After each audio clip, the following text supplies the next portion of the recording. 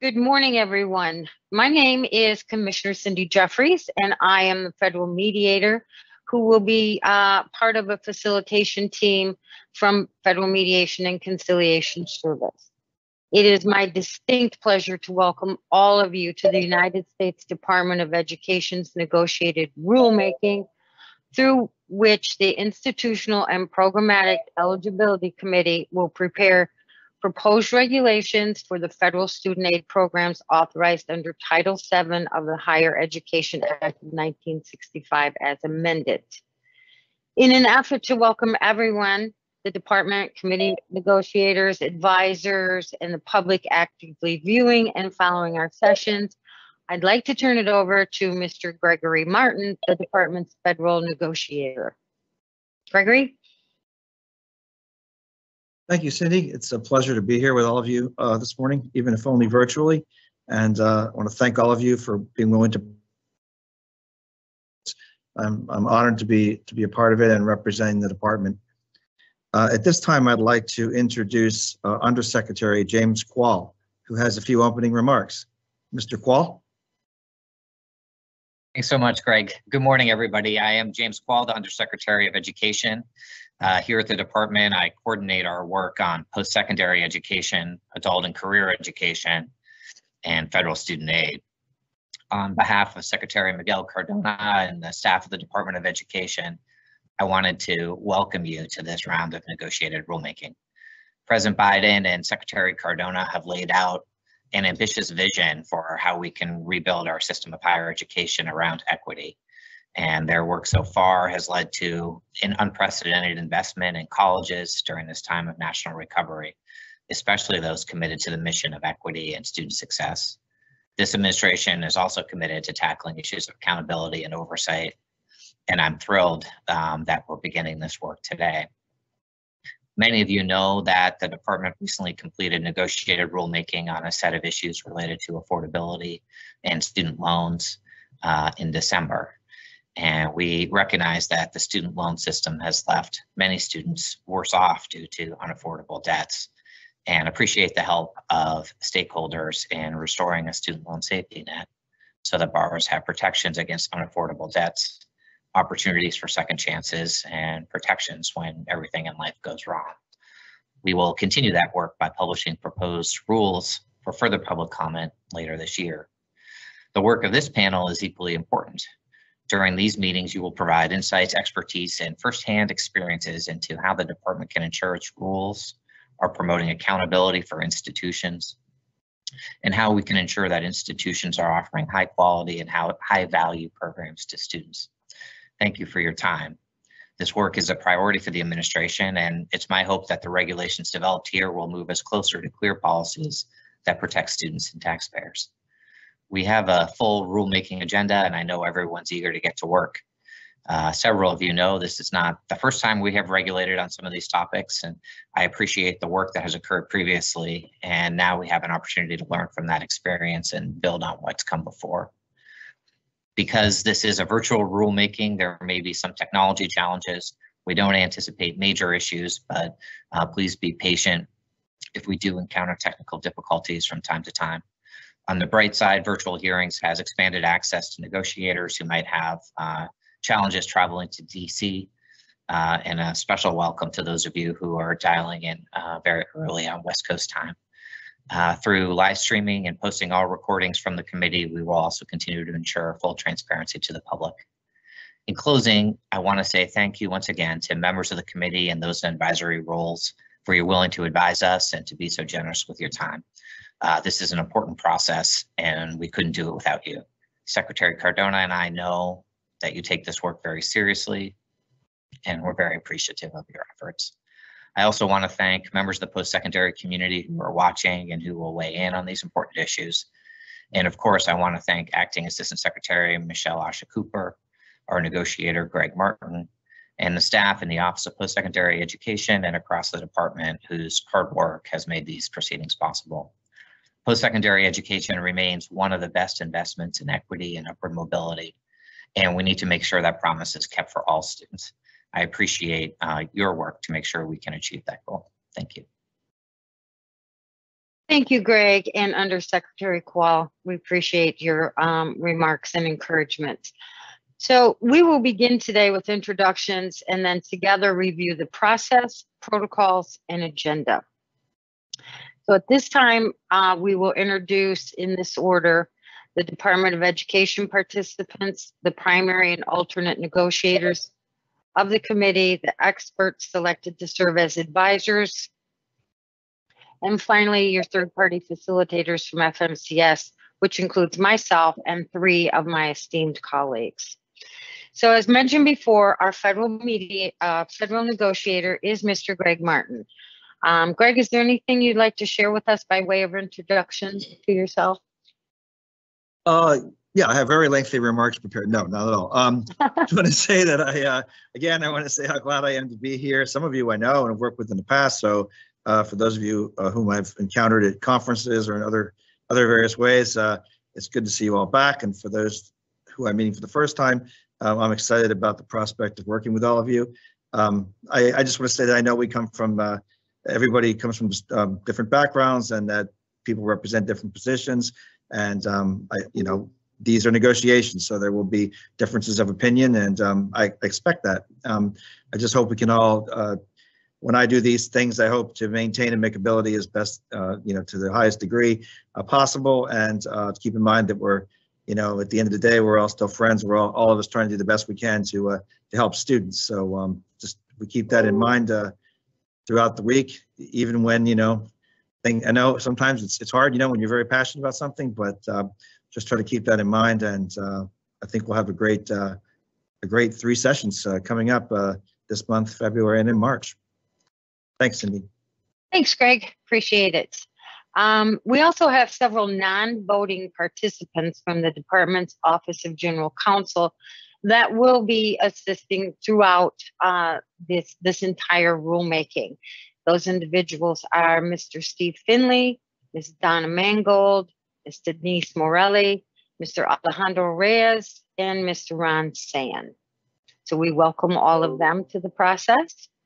There are uh, a couple additional department representatives who will wear a number of hats for us throughout these proceedings, um, correspondence, information sharing, screen sharing, language tracking, and work with the committee.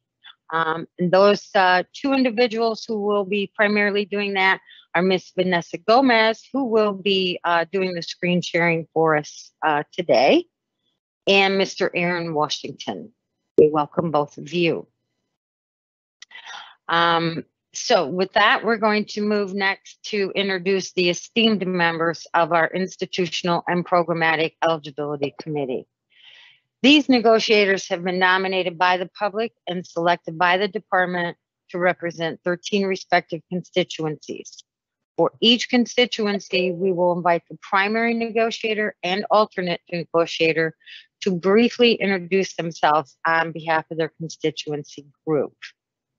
Um, so for the constituency accrediting agencies, we have Ms. Uh, Jamienne S. Studley. Thank, thank you very much, Cindy. Yes, I'm Jamienne Studley. I'm president of WASC, the Western, um, the WASC Senior College and University Commission. Um, you can call us by our nickname WASC if you refer to us. Um, yesterday marked my fourth four-year anniversary in the role of CEO of this organization.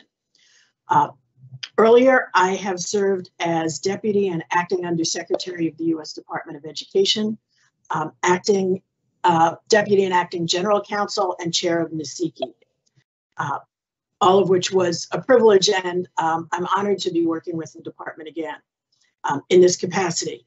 I've also served as president of Skidmore College, of a civil rights advocacy group called Public Advocates, and Associate Dean of Yale Law School.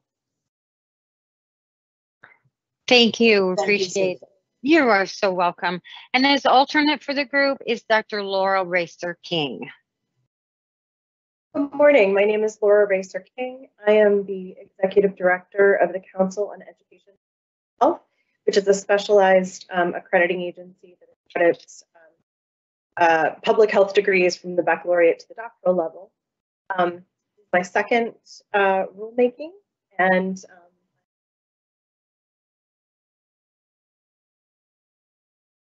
Laura, your um audio is um coming in and out, so I'm not sure. It seemed like if you, when you moved closer to your microphone, it was stronger, so just uh uh please uh be aware of that. For the constituency, civil rights organizations and consumer advocacy organizations, the primary is Ms. Carolyn Fast. Hello, good morning. Uh, my name is Carolyn Fast. I'm a senior fellow with the Century Foundation. Prior to that, I uh, was special counsel with the New York Attorney General's Office Consumer Frauds Bureau, where I worked in enforcement, um, specifically with a focus on higher education. Thank you, Carolyn. And the alternate is Mr. Jalon Herbin. Good morning, Jalen Herbin. I serve as a policy and outreach associate for Center for Responsible Lending. And prior to that, I served as a district liaison for Congresswoman Alma Adams. Thanks, Jalen. For the constituency, federal aid administrators at post-secondary institutions, our primary is Miss Samantha Veeder. Good morning. Uh, my name is Sam Veeder, and I'm the Associate Dean of Enrollment and Director of Financial Aid at the University of Rochester. Uh, I am currently serving on the NASFAA board, and I am past president of the Eastern Association of Student Financial Aid Administrators, and have had several positions also in the New York State Financial Aid Administrators Association. Thank you, Sam.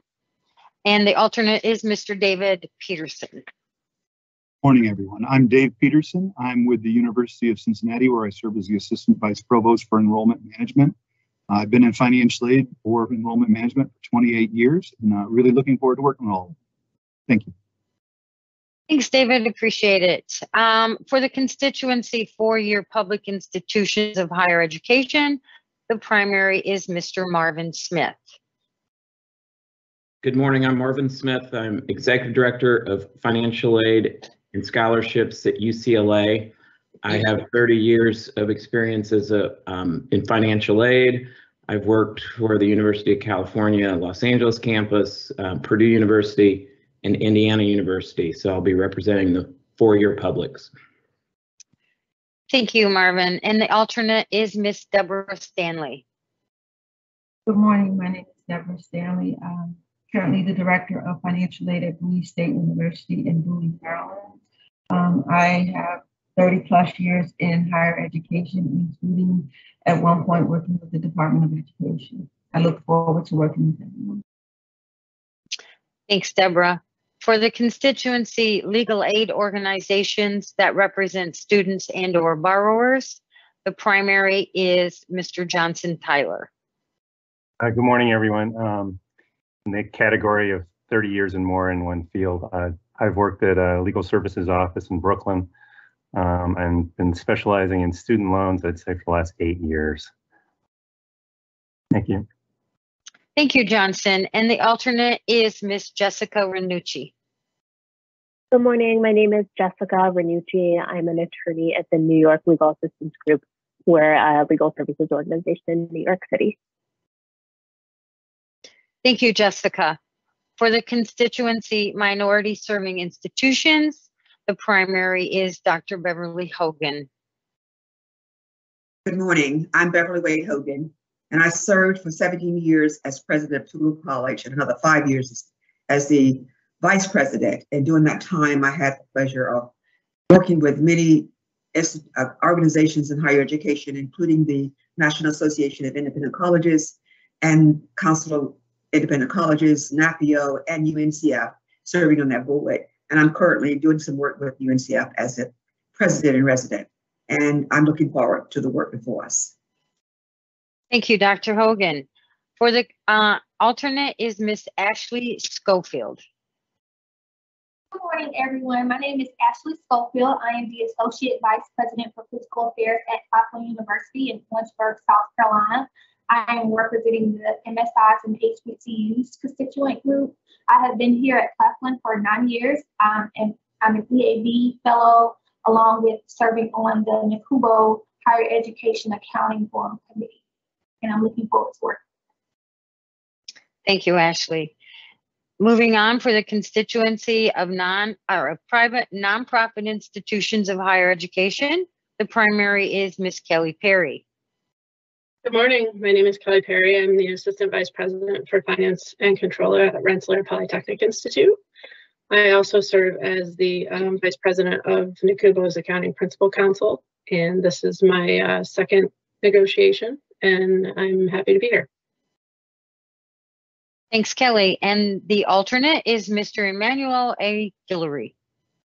Good morning, everyone. Um, my name is Emmanuel Guillory. I work for the National Association of Independent Colleges and Universities, serving as their Director of Student and Institutional Aid Policy. I'm about 13 years into my career, spent 10 of those as a staffer um, in Congress, most recently working for the House Committee on Education and then the workforce, and then working for UNCF for two years and now been with NAICU. So happy to be here and good to see you. Thank you, Emmanuel. For the constituency proprietary institutions of higher education, the primary is Mr. Bradley Adams. Good morning. My name is Brad Adams, and I serve as the Chief Operating Officer for South College. And prior to becoming the COO in 2018, I had the opportunity to serve as the Chief Financial Officer for the institution since 2014. Uh, South College is regionally accredited by SACS to award degrees ranging from certificate to doctorate. Uh, prior to South College, I worked at Tennessee Valley Authority for five years, a federally owned electric utility corporation. And I started my career with PricewaterhouseCoopers, working in auditing for uh, for-profit and nonprofit companies all over the world, including some institutions of higher learning. Look forward to speaking with everyone. Thank you, Brad. And the alternate is Mr. Michael Lanouette. I will note that when we get to the issue of um, ability to benefit, um, the alternate, Mr. Michael Lanouette, will be sitting at the table in place of Mr. Adams. So, Michael? Thank you. Yes, uh, my name is Dr. Mike Lanouette. I have over 30 years of experience in the proprietary uh, post-secondary section as well as the nonprofit uh, section. Uh, I currently hold a position of Vice President of Administration for a series of colleges, Aviation Institute of Maintenance, Tidewater Tech, and Centura College. Thank you, Mike. For the constituency state attorneys general, the primary is Mr. Adam Welle. Good morning. Uh, my name is Adam Welle. I'm an attorney at the Minnesota Attorney General's office. I've been uh, at the AG's office for about seven years. I work in our consumer wage and antitrust division, which um, handles a number of matters around advocating for consumers, enforcing consumer protection laws, um, I work in the area, uh, among others, of um, student loans and higher education. So it's good, good to meet you all. Thank you. Thank you, Adam. And the alternate is Miss Yael Shavit, who will be sitting at the table the entire week, uh, first week uh, in place of Adam. Yael? Hi, my name is Yael Shavit. I'm the managing attorney in the Consumer Protection Division of the Massachusetts Attorney General's Office. I've been in the office for about six years and am one of the lead attorneys on much of our work related to higher education financing, for profit consumer fraud, and student loan servicing. Looking forward to working with everyone in the committee. Thanks, Yael. For the constituency, state higher education executive officers, state authorizing agencies, and or state regulators of institutions of higher education and or loan servicers, the primary is Miss Debbie Cochran. Hi, thank you. Um, that's a mouthful of a category, um, and I am one of the state regulators of institutions of higher education. I am chief of California's Bureau for Private Secondary Education, um, which approves over a thousand institutions in to operate in the state of California. Um, the Bureau also houses the state's Office of Students Assistance and Relief, known as OSAR, which provides guidance and support to prospective, current, and future private post-secondary students. Thank you. Thanks, Debbie. And the alternate is Mr. David Socolow. Good morning. I'm David Socolow. I'm the Executive Director of New Jersey's Higher Education Student Assistance Authority, um, which is the state's uh, financial aid uh, agency supporting uh, students attending post-secondary education in our state. Um, and thrilled to be part of this uh, negotiation. Um, I've been in this role for four years. Prior to that, I led um, uh, the Center for Post-Secondary and Economic Success at CLASP, Um, and prior to that, had a, a long career in both state and federal uh, government agencies. So looking forward to working with all of you. Thank you, David. For the constituency students and student loan borrowers, the primary is Mr. Ernest Ezeugo. Hi, everyone. Uh, my name is Ernest Ezeugo. I am the Director of Policy and Advocacy for Higher Education and Workforce at Young Invincibles, an organization dedicated to elevating the voice and power of young people in the political process. I'm also a student at the University of Maryland Global Campus, and I'm really excited and looking forward to working with you all over the next three months. Thank you, Ernest. And the alternate is Mr. Carney King. Good morning. My name is Carney King.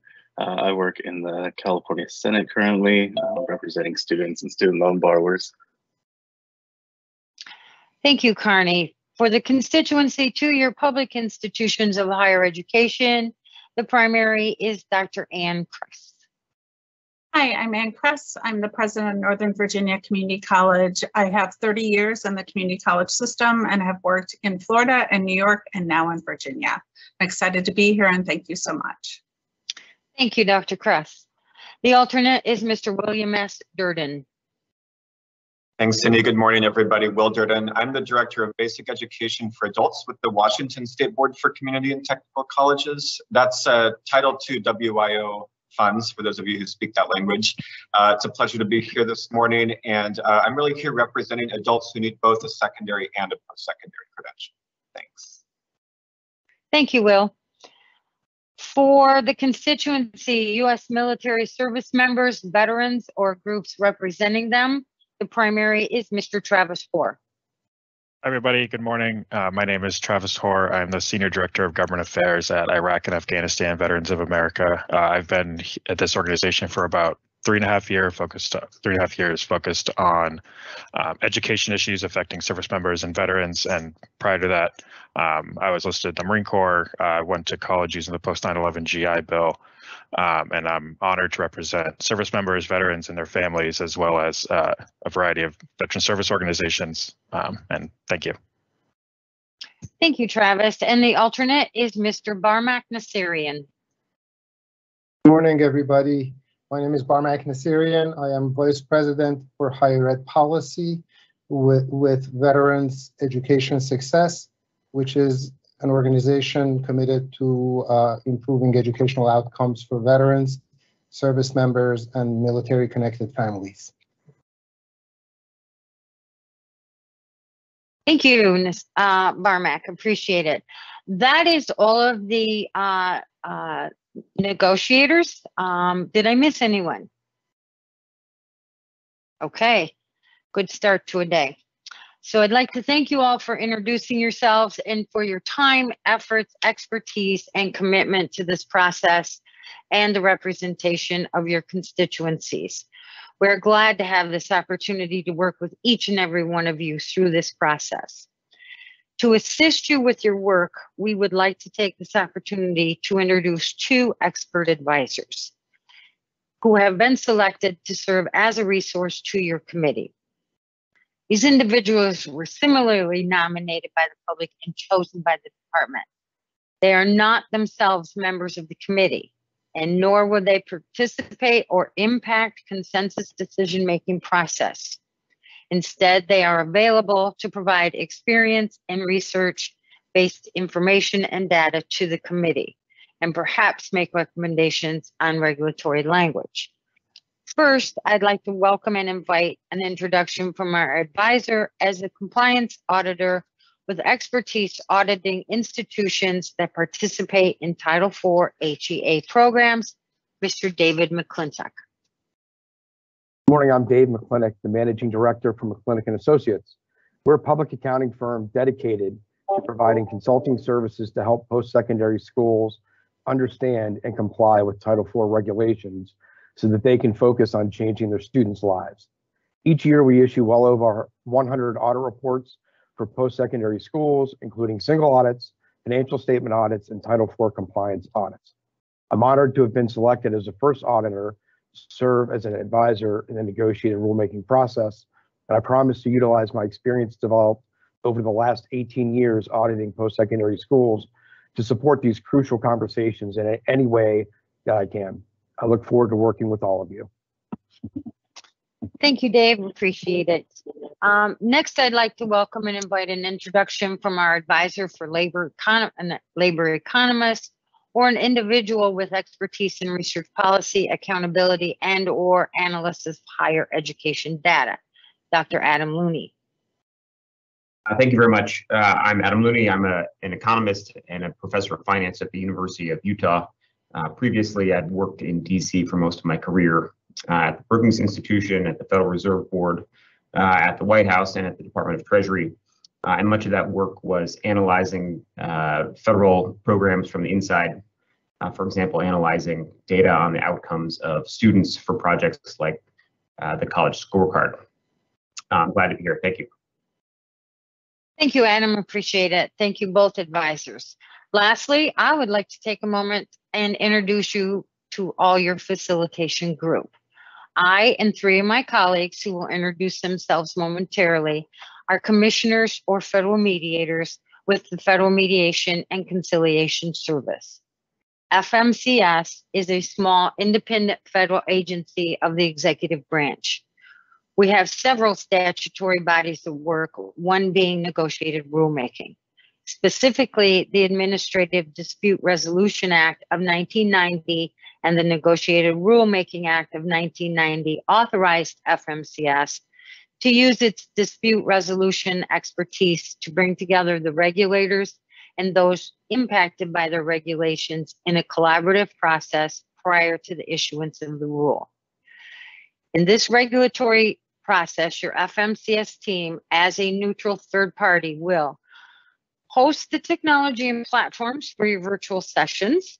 We will facilitate the discussions and consensus for each issue.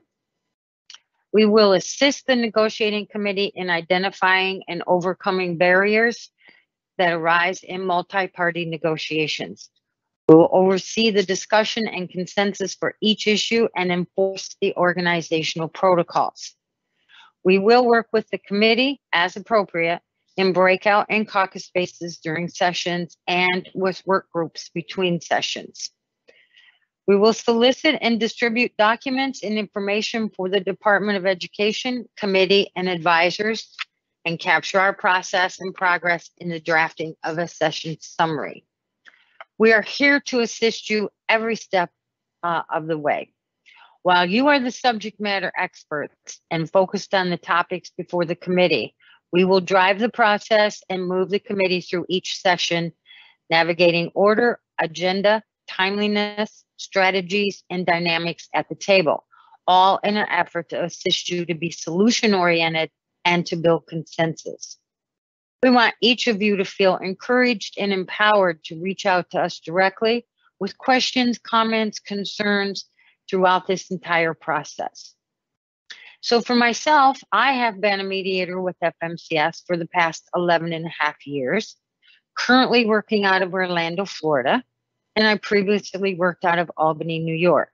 I enjoy multi-party high-stake negotiations and always appreciate getting to work with subject matter experts in a variety of sectors, industries, locations, and circumstances. I am joined by three fellow FMCS colleagues who I'd like to invite to introduce themselves and anything I might not have mentioned about FMCS in our role. So first we have Commissioner Brady Roberts.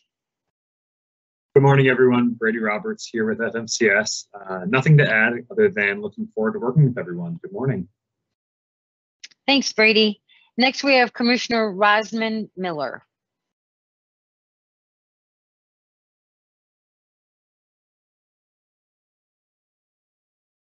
She may have stepped away for a moment. Um, let's move to Commissioner Kevin Wagner. Hello, I'm Kevin Wagner, um, out of the headquarters uh, in Washington, D.C. Uh, look forward to working with everyone uh, over the next uh, few months. Okay, and Roz just sent me a message. She is back. So, Roz, you want to introduce yourself? I think you might still be double muted, Roz. Sorry about that. I was double muted. My name is Rosamond Miller. I've been with the agency for 15 years, um, specializing in all things conflict management, and I'm excited to be here today. Thanks, Roz. So I believe that we now have made all the introductions, and if I've missed someone, I apologize, and I invite you to let me know at this time. All right. So now that we've been through all the introductions, we'd like to remind you all to ensure that your naming convention is consistent with what has been requested. A quick scan looks like it is, but just for the public, it is the, the first name or the name that the party wants to be addressed by. A P stands for primary, a for alternate, and an abbreviated reference to your constituency group. In addition to the naming convention, I have a couple additional technology notes this juncture. While you are not speaking, please keep your audio muted. This will help us all cut down on background noise, distractions, and be able to identify the speaker more readily at any given time. If you are at the main virtual table and have something to share, please raise your virtual hand by clicking the reactions icon at the bottom of your screen and selecting raise hand. We will generally call on folks throughout the process in the order in which their virtual hands appear on our screen.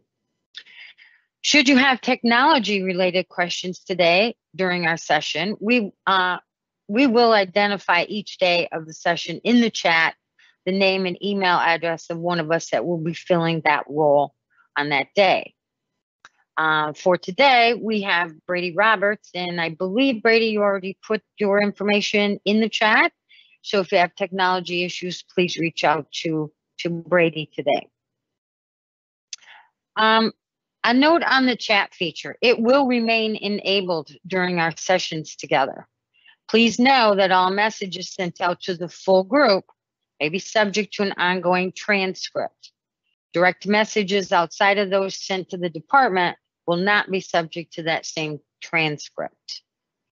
Each day, the public will have an opportunity to log in and observe our session via the live streaming the department has posted a registration link for that on their website. Brady will also place that link uh, in the uh, chat right now. Um, this is the same place where updates and shared documents will routinely be provided.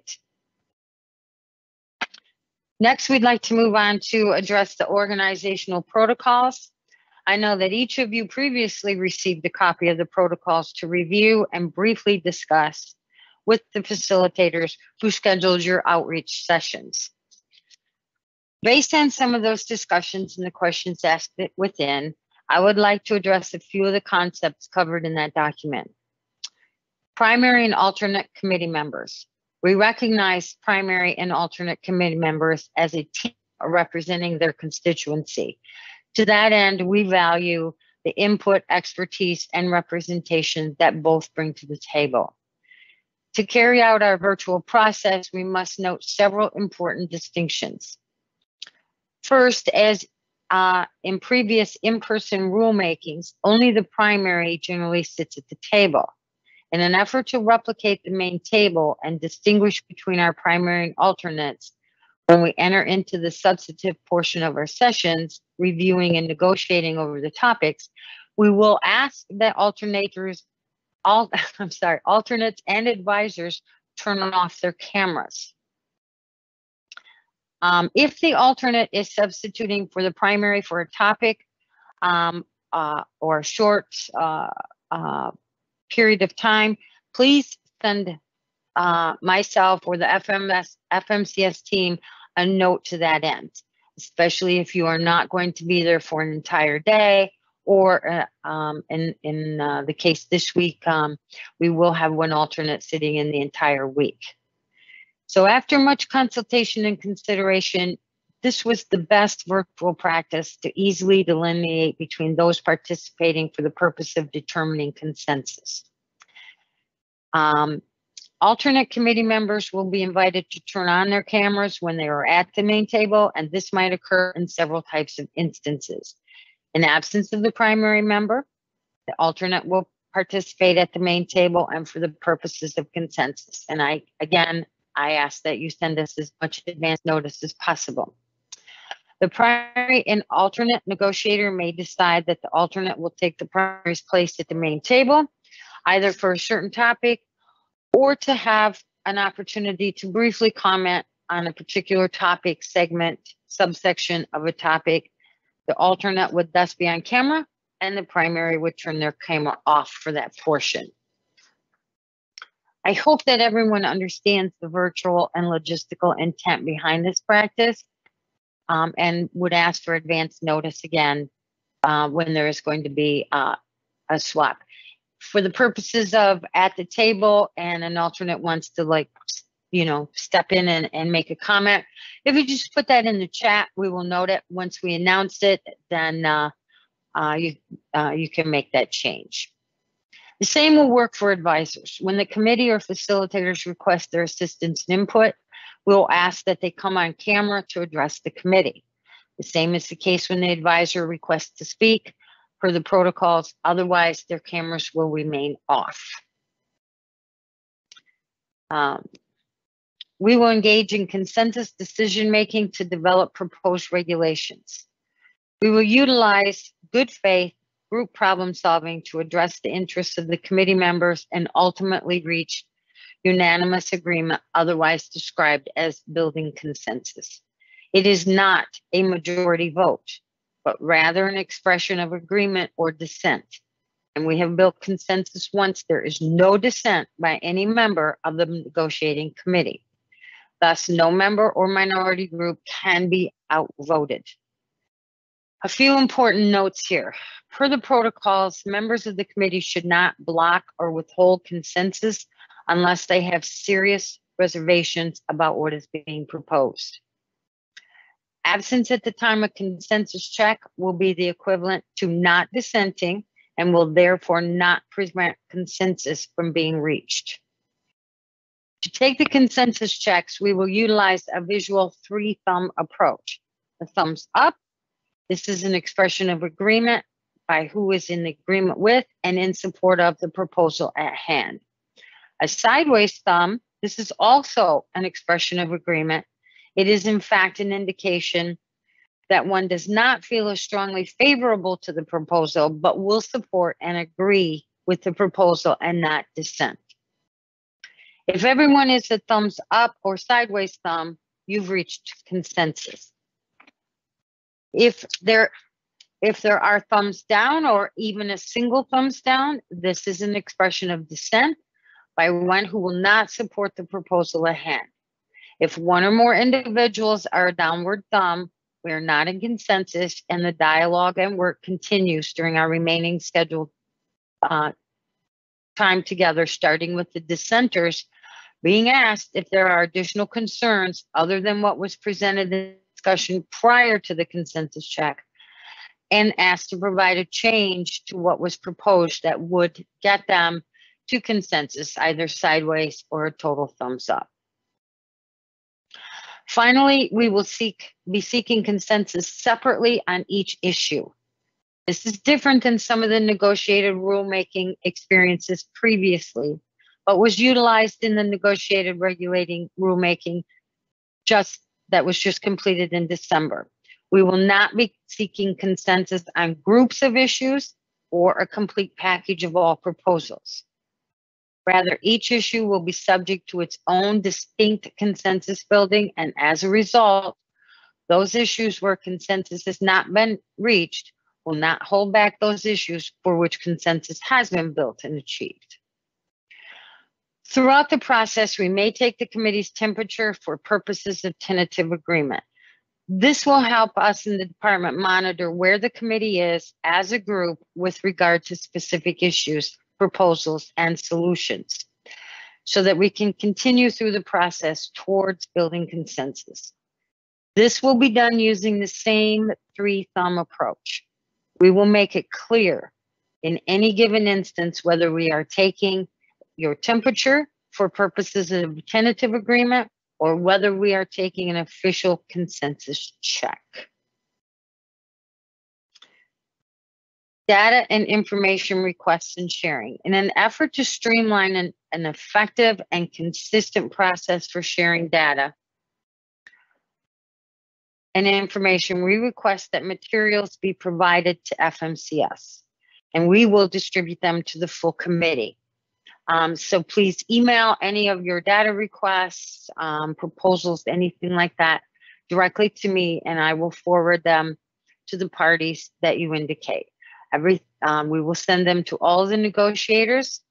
We will send them to the department and the department will be doing the same, sending it to us and we will disseminate it to all of you.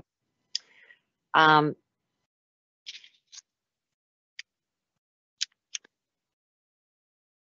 specifically for the advisors. This is a new new role to have designated advisors for the committee. It was done in the last rulemaking. This is the second time that it's been done. And we want to utilize your expertise in a respectful and efficient manner. To that end, we would like to establish a consistent practice for soliciting data and information from them. In the effort to timely address requests, address potentially duplicitous requests, and ensure that everyone receives information and data being shared by the advisors. We ask that requests are provided again to the facilitators who will then in turn provide them to the advisors. Any materials and documents that the advisors wish to share can be provided by FMCS and we will send them out to everyone in, and the department. Our intent here is really to track requests and responses and ensure that everyone receives all data information being shared. For the department, data requests to the department, please refer to the protocols for additional information. These will be invited at the time of addressing the particular topic for which the party's um, request pertains. Any information provided by the department in response to a data request will be sent out to the entire committee. The department will prioritize data requests and please keep in mind that um, many, if not most, of the data requests may take a period of time to for the department to compile that information. Sometimes it has to come from multiple sources. In addition to um, that, we will be using breakout rooms in caucuses. For the protocols, committee members may request a caucus for the purpose of consultation. To achieve this within our Zoom Gov, platform, the facilitators will move individuals into breakout rooms within the platform. These breakout rooms are secure and private virtual spaces where there will be no live streaming or recording. For time management purposes, the facilitators will work with the committee to ensure that these rooms are used um, intentionally and strategically for specific periods of time.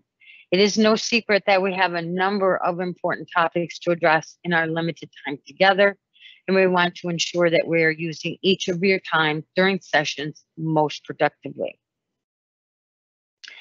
In terms of participation, only those within the platform will be able to access the breakout rooms through Zoom. This means that we will not be able to admit any additional individuals to the meeting for the purpose of meeting with you in caucus. This is in no way an attempt to stifle dialogue, consultation, or the input of others from your respective constituencies. It is simply a matter of logistics, keeping the facilitators focused on the task at hand with the committee, preserving our time together and minimizing technical issues and protecting the security of our virtual meeting space. While in the breakout rooms, we encourage you to contact and consult with others as you deem appropriate and necessary. Feel encouraged to call them, use conference lines, speakerphones, or other preferred technology. We also encourage you to consult with them on breaks, lunches, outside session hours, and between sessions. Moving to the social media piece of the protocols, a couple of questions have come up about social media as it is addressed in the protocols. First and foremost, we ask that everyone refrain from posting and commenting on social media during our sessions together because we want everyone fully engaged and participating when we are together. Outside of our sessions, we appreciate that social media can be an effective tool for positive use, such as soliciting feedback from your respective constituency.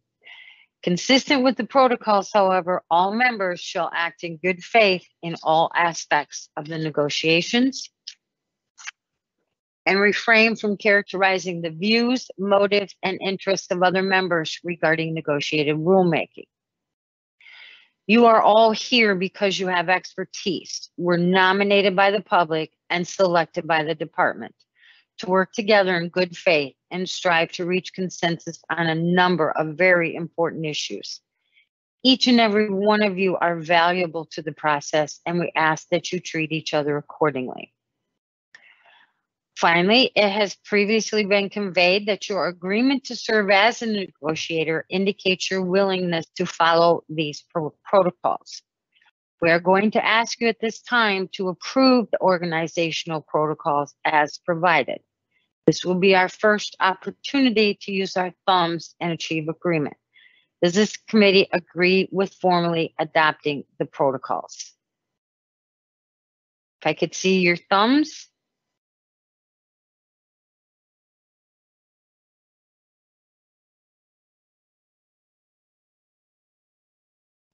Okay, it looks like we have all thumbs up. Anyone see something different than that? Please let me know.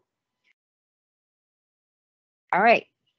So thank you very much. We will reflect that adoption in our records. You have now just reached your very first consensus. What a great way to start off your day. Before moving into a brief review of our agenda, does anyone have any questions or comments?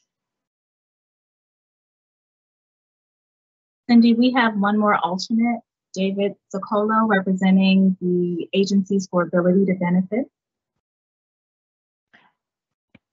Okay, so when we move into ability to benefit, David Socolow will be sitting at the main table. Thank you, Roz. Any other questions or comments? Okay, so um, a review of the agenda. This was emailed out and shared online by the department. Uh, uh, Anne, you have your hand up? Sure. I just wanted to note that I had also sent in a request that for the community colleges, Will Durden be our primary negotiator for the ability to benefit. Yes, thank you. I did receive that. I will be announcing all changes when I introduce the uh, issue. Um, but thank you for that, Anne. Um, the email, the agenda was emailed out and shared online by the department. Um, this is the order in which we plan to introduce topics during this first week-long session. I must let you know that it is subject to change based on a number of potential factors. Quick note on public comment. At the end of each day that the committee meets, we will reserve time for public comment, which will begin each day from 4 to 4.30 um, when we start uh, our schedule of uh, ending at 4, public comment will be 3.30 to 4. At that time, individual public commenters will be admitted into our zoom.gov meeting from the waiting room and permitted three minutes to speak. They will be removed from the session when their remarks are complete. Along those lines, we, the department does um, uh, slot people into every three minute time slot during the period of open comment from 4 to 4.30. Once those slots are filled, people will be placed on a waiting list and should time slots open up during that half hour, and we have gone through everyone who uh, was scheduled, um, there sometimes are those who cannot make it. We will then move to the um, waiting list in an effort to make sure that we get as many people as possible in that half hour.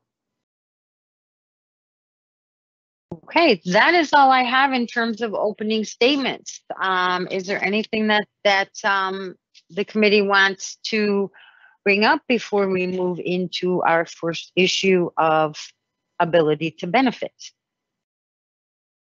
Uh, yes, Cindy, hi, it's Johnson. Um, I had a motion to add a person to the negotiated rulemaking committee. Should I make that now? Um, yes, please go ahead. So, um, good morning, everyone. Uh, it's nice to meet you all. I'm Johnson Tyler from the uh, Legal Aid uh, constituency. Oh, we want to add a civil rights seat to the um, negotiating making committee table. Um, the person we'd like to um, uh, nominate is Amanda Martinez, who works Unidos in uh, a Latinx advocacy organization in uh, Washington, D.C. Um, the uh, civil rights um, seat was originally a uh, its own entity, uh, and it got collapsed into a consumer and civil rights seat. I think these two issues are fairly different, and that's why we want to um, make this nomination. In addition, um, I'm I'm aware that we're I'm making this on the Tuesday after Martin Luther King weekend, um, where we're celebrating his achievements, and I think all of us would agree the last uh, two years we've become acutely aware of the inequalities in the United States that have persisted despite his efforts.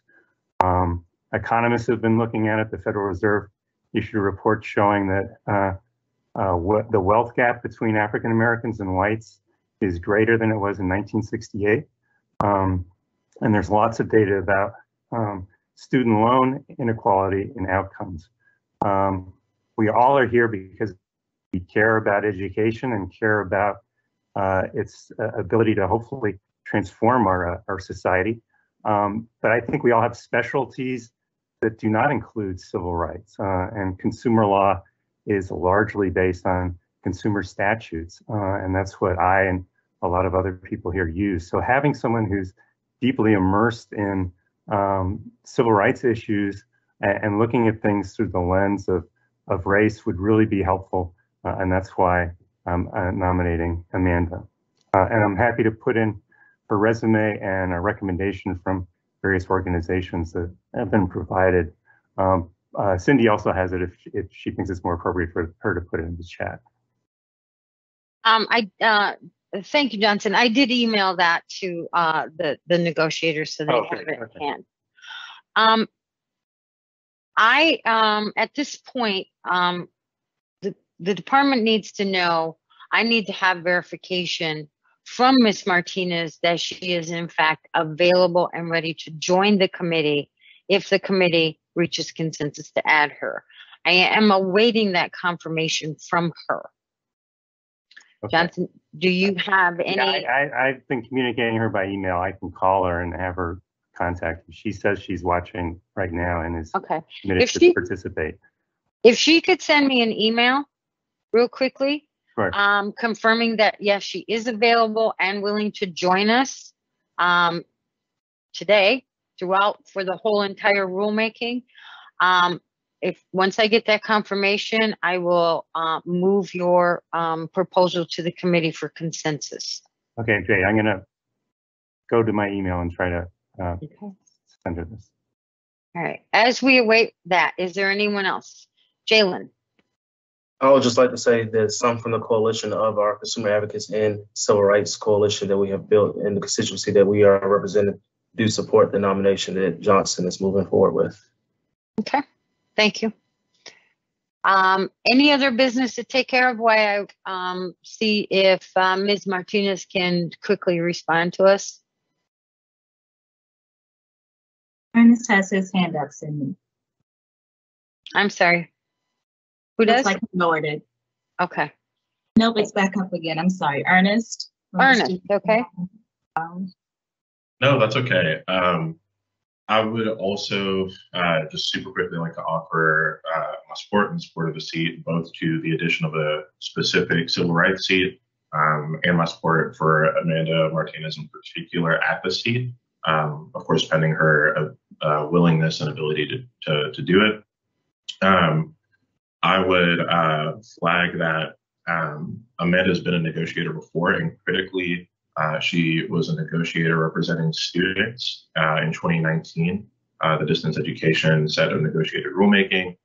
Um, her voice on this committee in particular would be extremely valuable, um, and if I may say, may say extremely beneficial considering uh, kind of the slant uh, on this current seat and the lack of representation of, of student-facing seats. Uh, we know she's well equipped to do it. So uh, I simply wanted to add my support in that regard as well. Okay. Thank you. Brad? Yes, good morning. Uh, While we consider the vote on the nomination put forth by our colleagues, I would like to nominate someone to the committee. Um, Many of the issues we'll be negotiating on during this upcoming rulemaking session directly impact proprietary schools. And according to 2020 IPEDS data, there are approximately 2,270 tax-paying proprietary institutions, with only 330 of those schools having programs four years or longer like South College.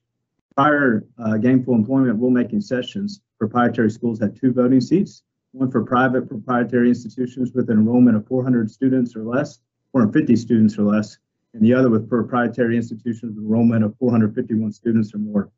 And thus, with South College having 7,000 students, uh, we do not have a representative covering for smaller proprietary schools. As many of you know, the 2014 Gainful Employment Rule established debt to earning measures to determine whether a program prepares students for gainful employment in a recognized occupation. And under the 2014 Gainful Employment Rule, the department obtained most currently available mean and median annual earnings of students who completed the gainful employment program the social, from the Social Security Administration. And we know in the department gainful employment uh, issue papers recognize that educational programs that produce graduates in fields where underreported income occurs is a challenge for any measure that includes income reported to a federal agency.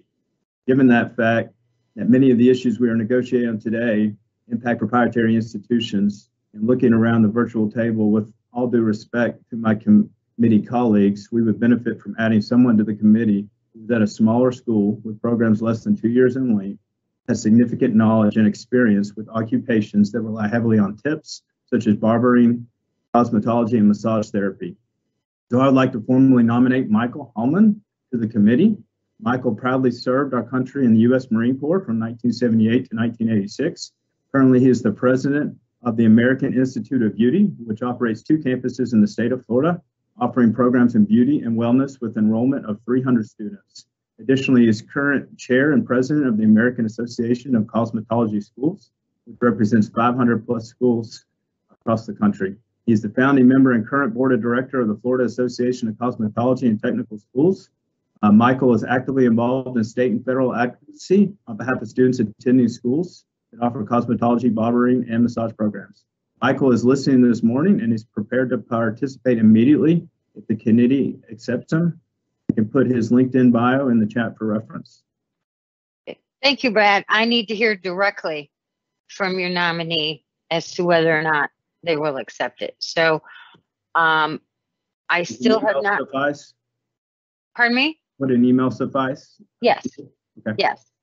Um, still have not heard so from um, Ms. Martinez either. So in an effort to to move things along, um, and not hold the committee up from the work that they uh, have at hand. Um, I'm going to move us to um, the first issue of ability to benefit, um, as that is a discussionary piece um, at this point. At such time that I receive confirmation from either party, I will um, bring the committee back around to the addition of uh, addressing the addition of these two. Brad, I'm not sure what constituency are you are you suggesting uh, that you're that Michael uh, represent? Um, proprietary schools with enrollments of 450 students. South College being regionally accredited with 7,000 students has uh, different different issues than what a cosmetology school offering programs with two years or less. Uh, okay, so the this, this is a seat that was there in I believe the 2017 negotiation of gainful employment, um, and it's just asking that seat to come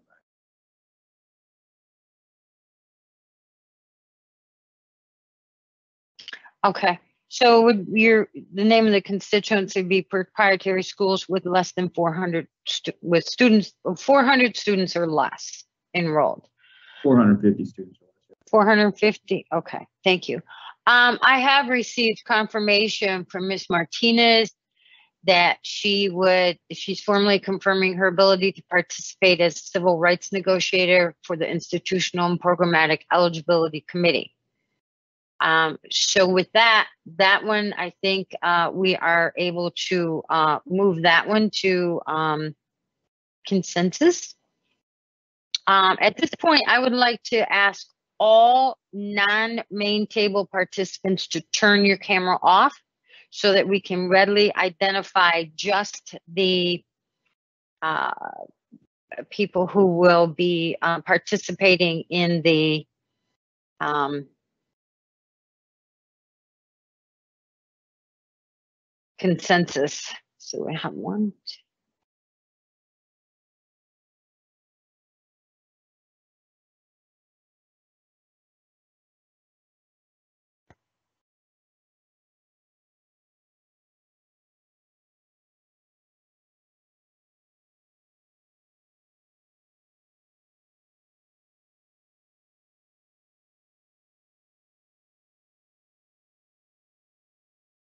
I'm showing 15.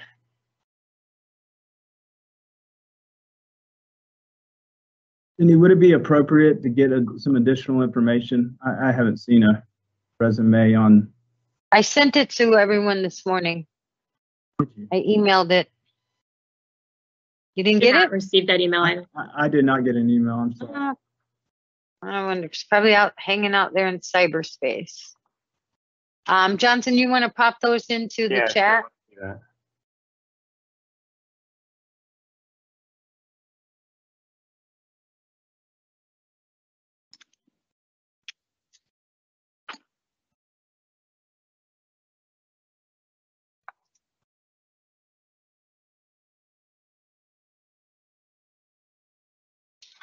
So we, we also, let me just.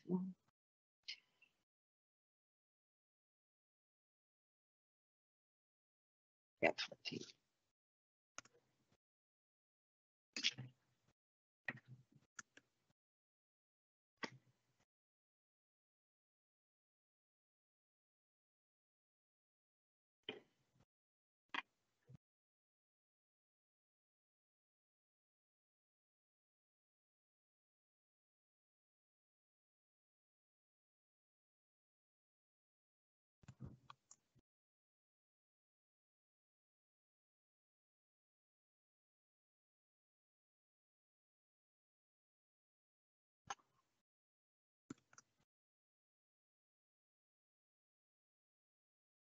Okay, I also got uh, confirmation from Mr. Hellman that should the committee uh, reach consensus to add that constituency in him, he would be able to participate immediately.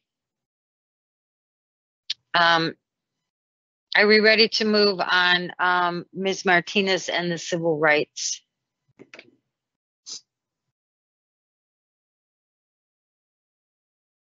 Okay, if I could see. may- I have a, I have a conversation with, uh, Michael Johnson, please? Do you want a, a private conversation with him or what are you asking for? Yes, that would be excellent if I could. I'm not sure how to do that via this Zoom format. That's okay, we will set it up. So you want to caucus with whom? believe it is Mr. Michael Johnson. Who's Tyler. Recommended. Right on that. I'm sorry. Who is M- Michael Johnson? I think he means Tyler. Sorry, Tyler Johnson. Johnson Tyler? His first name is Johnson. I apologize. No worries, no worries. I made the same ma'am. mistake, so we're good. Uh, Brady, can you set up that quick breakout room? Brad, can you give me some sort of indication as to uh, how long this caucus will take? Assume five minutes or less. Okay, so for the purpose of the public, we are setting up a breakout room um, for Johnson Tyler from Legal Aid Organizations and Bradley Adams from Proprietary Institutions. We will go off live stream for the period of time that it takes uh, for them to do it, anticipated to be five minutes. So with that, could we end the live stream?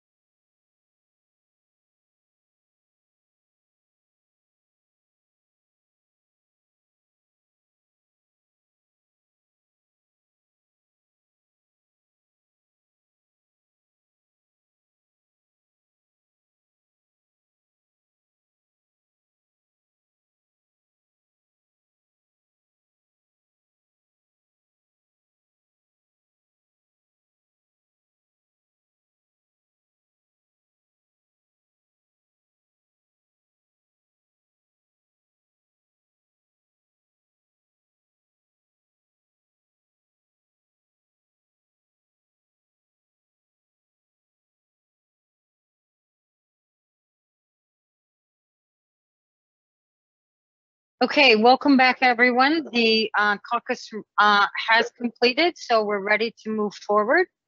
Um, Let's move with um, the first nomination of adding the civil rights seat with Ms. Martinez as the uh, nominee for that.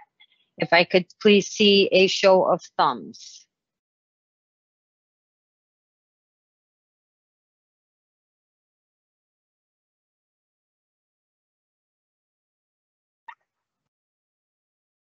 Uh, the 13. Okay, so the committee has reached consensus on that. So Brady, if you would please send all the documents and materials and the link to Ms. Martinez so she can join the committee today, that would be great. Um, moving on to the um, proposal to add proprietary schools with 450 students or less with Mr. Michael Homlin as the uh, nominee. Um, if you could please uh, show me your thumbs.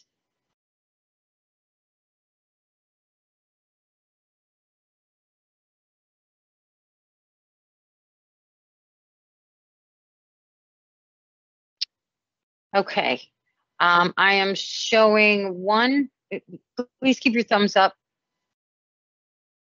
Two, three, four, five, six, seven.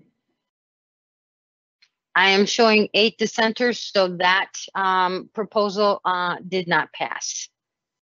So moving on, um, we will move to the first topic that we have, and that is the ability to benefit. And Brad, you raised your hand. Yes, ma'am. I just want to say for the record, I'm disappointed that a critical voice will be missing from this conversation. And the committee that uh, voted against it has that option uh, associated with it. Thank you. Thank you. Okay. Um, if you could please lower your hand, Brad, we will move forward with the ability to benefit. Uh, discussion, we have uh, several substitutions. David Socolow uh, will be in uh, substituting for Debbie Cochrane. Will Durham will be in for Anne Kress. Um, did I miss anyone? And of course, Yael is in all week um, for State's Attorney General Johnson. Yeah, um, could, um, Brady or someone help Amanda to join the, the group too, since she's been, uh, So she, she's been sent a Zoom link along with all the issue Okay, papers great, and thank you. protocols. I'm just waiting to admit her. okay, great, thank you.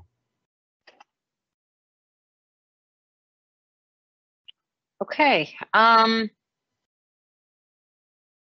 so with that, I, um, I'm going to turn it over to Greg uh, from the department to um, uh, walk you through the uh, ability to benefits.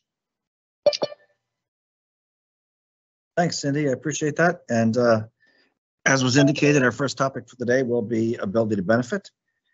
And uh, what I'll do is just uh, go through a brief intro, uh, give a little bit of a, a background about ability to benefit. For um, I understand that uh, not everybody on the committee, mm, you know, um, is, is steeped in ability to benefit. Um, depends on where you've been working, you know, or what, what your background is as to how much uh, regarding how much um, exposure you've had to it. So, and then once we go through the introductory part and a couple of the uh, um, main points, we'll we'll start addressing the uh, the regulations themselves. So, just as an introduction here, we're talking about uh, this is uh, ability to benefit is in statute, uh, section 484D of the HEA, uh, that requires that in order to gain eligibility for Title IV federal student aid, a student without a high school diploma or its recognized equivalent must fulfill one of the ability to benefit alternatives. And they are as follows. A student can pass an independently administered ed approved ATB test. The student can complete six credit hours or the equivalent coursework offered by the post-secondary institution.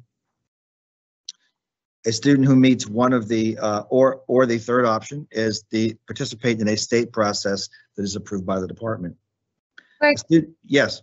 could I interrupt for just a second? Do you want this document screen shared? Uh, uh, we- you, you know, you don't have to put it up. I'll tell you when to put, when you can put it up. Okay, great, thanks. I'll let you know when to put it up. That's just, uh, uh, just after these introductory remarks. And so what we want to point out here is that a student that meets one of the ATB alternatives uh, may use that alternative to establish Title IV eligibility at any eligible institution where the student enrolls in an eligible career pathways program, ECPP. So that's eligible career pathways program. I hate to be the individual that introduces yet one more acronym to you all, but um, that, that I'm afraid I have to do that. So it's not the worst acronym we've ever had. So um, I will refer to it as uh, ECPP in the future. Again, that's eligible career pathway program. And that's defined in the HEA for purposes of the ability to benefit process. So the important point is here, no matter which means the student uses to uh, uh, to establish the ability to benefit, the only uh, way that that can take place is um, through an eligible career pathways program. And on that point, just a little bit of a background about um, about uh, about ATB. So um, just again, you know, what is ability to benefit? It is, uh, we just talked about that being defined in the HEA, allowing students to participate, um, or be eligible rather without a high school diploma or its equivalent. And um, we uh, talk about what is an eligible career pathways program. That's defined in the HEA as well. And then ECPP is a program that combines rigorous and high quality education, training, and other services that align with the skill needs and seven specific components that make up the ECPP. What is a state process? The state process describes the education services and supports that all programs operating within a given state process will follow. It must be approved by the department. Only institutions identified uh, by the state will be uh, able to participate in that process. A little bit of history of ATB before we move into it, just to, um, to look look at the look pat, look to the past about where we have been with ATB and where we are now. So in 1991 and in 92, Congress created ATB via exam and the state process. There were for long for a long time there were, there were no states participating in the state process. So for the longest time, it really was only through the uh, through the exam that uh, the, those of those of you who are familiar with ATB know that um, students um, were able to uh, uh become eligible through this process. In 2008, Congress added a third option, that was credit hours. So in uh, not just the uh, testing or state process, we added the completion of credit hours that through which the student could establish ATB. And in 2008, uh, rather in 2011, Congress repealed ATB. You might recall that at that at that time, ATB, ATB went away completely. In 2014, Congress restored ATB with all three options and a new requirement that students must be enrolled in an ECPP. So it's important to remember that the Congress put back all three options for uh, establishing the ability to benefit. However, important caveat there is that the Eligible Career Pathways Program is the only mechanism through which uh, ATB can be accessed, whether it's through the uh, exam, whether it's through completion of the, the clock hours or credit hours, or whether it's through the state process. So looking at what ATB looks like today, in 2019-20 award year, approximately 240,000 students received Title IV aid uh, through ATB. Of those students, 86% accessed ATB by completing six credits. The remaining 14% accessed it by completing a test. I do want to point out that until recently, this, no state has utilized the state process provision. In 2020, the U.S. Department of Education approved the first two states, that's Wisconsin and Washington. As of 2021, four state processes have been approved. Washington's application was the only one actively approved by the department. The other three were approved automatically due to lack of response within six months. That's statutory. If the department does not respond within six months, then the state process is automatically approved. In 2021, we have a fifth state submitted and no, no determination has been made there as of, as of yet. So that's a little bit of a background to, uh, to ATB, what we're looking at with ability to benefit. So with that, I think Cynthia, we can put the paper up. Okay, that sounds great. While we wait for that, I want to um, make note for the record that Ms. Martinez has now joined the meeting um, on behalf of the constituency group uh, Civil Rights. Um, in addition to that, I need to make note that um, Michael Lanouette is at the table for Brad Adams for proprietary institutions. and that uh, Ashley Schofield will be joining the table in place of um, Beverly Hogan from uh, Minority Institutions. So back to you, Greg. Thank you. Let's move down to the, I, I think I pretty much covered the summary of issues there. So let's move down to the proposal section here to see uh, exactly what the department's proposing. And we're dealing with two areas really with, with our proposals for A, for ATB. Uh, the, the first one will be uh, with respect to the uh, eligible career pathways process or program, and the second will be with the um, uh, with the state process. So those are the two main areas we're looking at, and they do intertwine, and you'll see as we go through the um, material how that works. So firstly, the department is going to clarify how institutions demonstrate they offer ECPP. Currently, it is it has been in statute, but we've not regulated on this before, so this will be the first time that we um, that we regulate in this area. And um, although, as I said before, it is out it is out in um, in, in statute currently.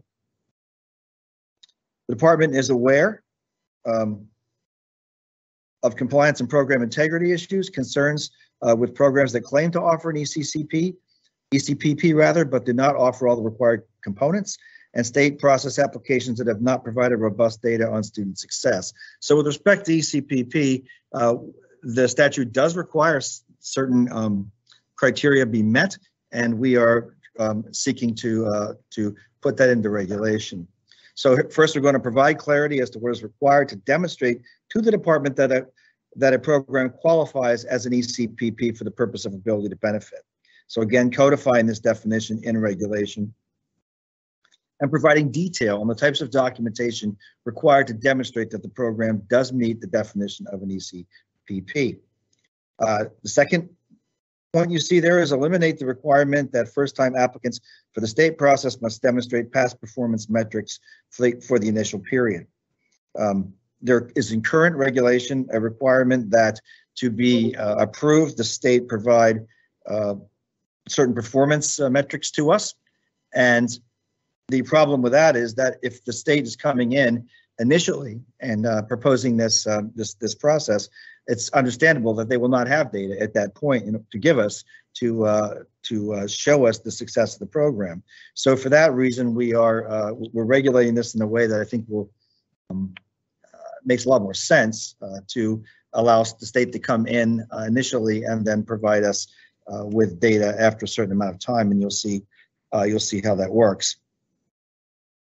Um, so what we're going to have here um, we, we seek to recommend a maximum of two years of length, a two years length of time that the United States Department of Education should receive the application for approval, um, on the length of time rather that we receive it. Second, the department's process requiring states to verify their applications that all new students served in the state process will be enrolled in ECPP, and the secretary shall verify that a sample of the proposed ECPPs are eligible. So when um, when states are applying, remember they can have a state process, but we're still requiring that that be through an eligible career pathways program. So we want to make sure that the participants are offering uh, this program in accordance with uh, what statute and statute and now uh, regulations will require. The department also seeks to propose a setting, uh, setting rather, a maximum number of students to be allowed in the initial approval period, uh, or limiting the institution to one ECPP for students um, eligible for the state process. So we'll be seeking feedback from all of you on the best approach for all that. And fourth, we are removing the requirements that states demonstrate past success rates for the initial period. And I already discussed that, that it's virtually impossible to do if you haven't had the, uh, process before demonstrate a success rate uh, without a trial period, which we're going to be introducing here. And that's given that the state will not have prior data. However, we are proposing to replace that requirement with initial quality metrics that will allow us to assess the effectiveness of the program participating under the state process, and we seek feedback from negotiators on what those quality metrics ought to be. And finally, we are proposing requiring states to describe in their application uh, the enrollment or admissions criteria that students accessing Title IV through the state process uh, would be required to meet. And uh, moving on, we're, we're requiring that uh, there be clarity on the requirements, or we're going to provide rather, clarity on the requirements for states that are reapplying for subsequent approval of the state process. So when a state applies for a subsequent uh, approval from the department, the department proposes to require additional data and proof of success to meet the statutory requirement to demonstrate effectiveness. So you will recall that um, uh, there, there is a statutory requirement for uh, the state to demonstrate success in the program.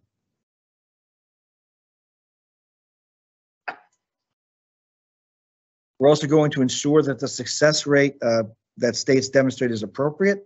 In order to demonstrate this effectiveness, the current regulation requires a completion rate uh, for participating students without a high school diploma or its recognized equivalent, that it must be 95% of the completion rate for students with high school diplomas.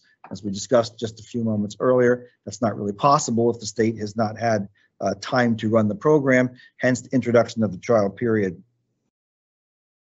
Other alternative uh, alternative performance indicators to be considered uh, include earnings, employment credentials, credits, uh, post-secondary transactions, or transitions rather. We also seek feedback on the most appropriate mechanism to hold states accountable when participating institutions do not meet the success rate thresholds. We also seek to establish reporting needed to retain access to Title IV to ensure states report institutional level data to the department when such data are not available uh, to the department through the standard Title IV reporting. That's an, an introduction of the uh, of what we'll be talking about here when we actually uh, look at the regulations. And um, if there are no questions at this point, I think I'd like to move to a discussion of the regulations themselves, uh, starting in the uh, uh general provisions and our definitions of 668.2 and we can walk through this. I want to I want to make certain that we take this in um, chunks that are uh, reasonable, so that we don't you know go over too much uh, before uh, introducing discussion on that on that topic. I think that with what we have under 668.2, uh, we can we can address that uh, that that particular uh, what we have in that section. Um, and uh, and in paragraph B, we can we can start with that and, and start discussion on that. But before we get into that, does anybody have any preliminary comments or or or questions? Uh, Greg, there are several hands up, um, and there was a question placed in the chat as well. Um, Sam, you are muted, dear. Thanks. Thank you. Um, I do have a question. Um, on the state process, uh, Greg, when you gave the statistics, most students entered the program through credits and 14% through tests.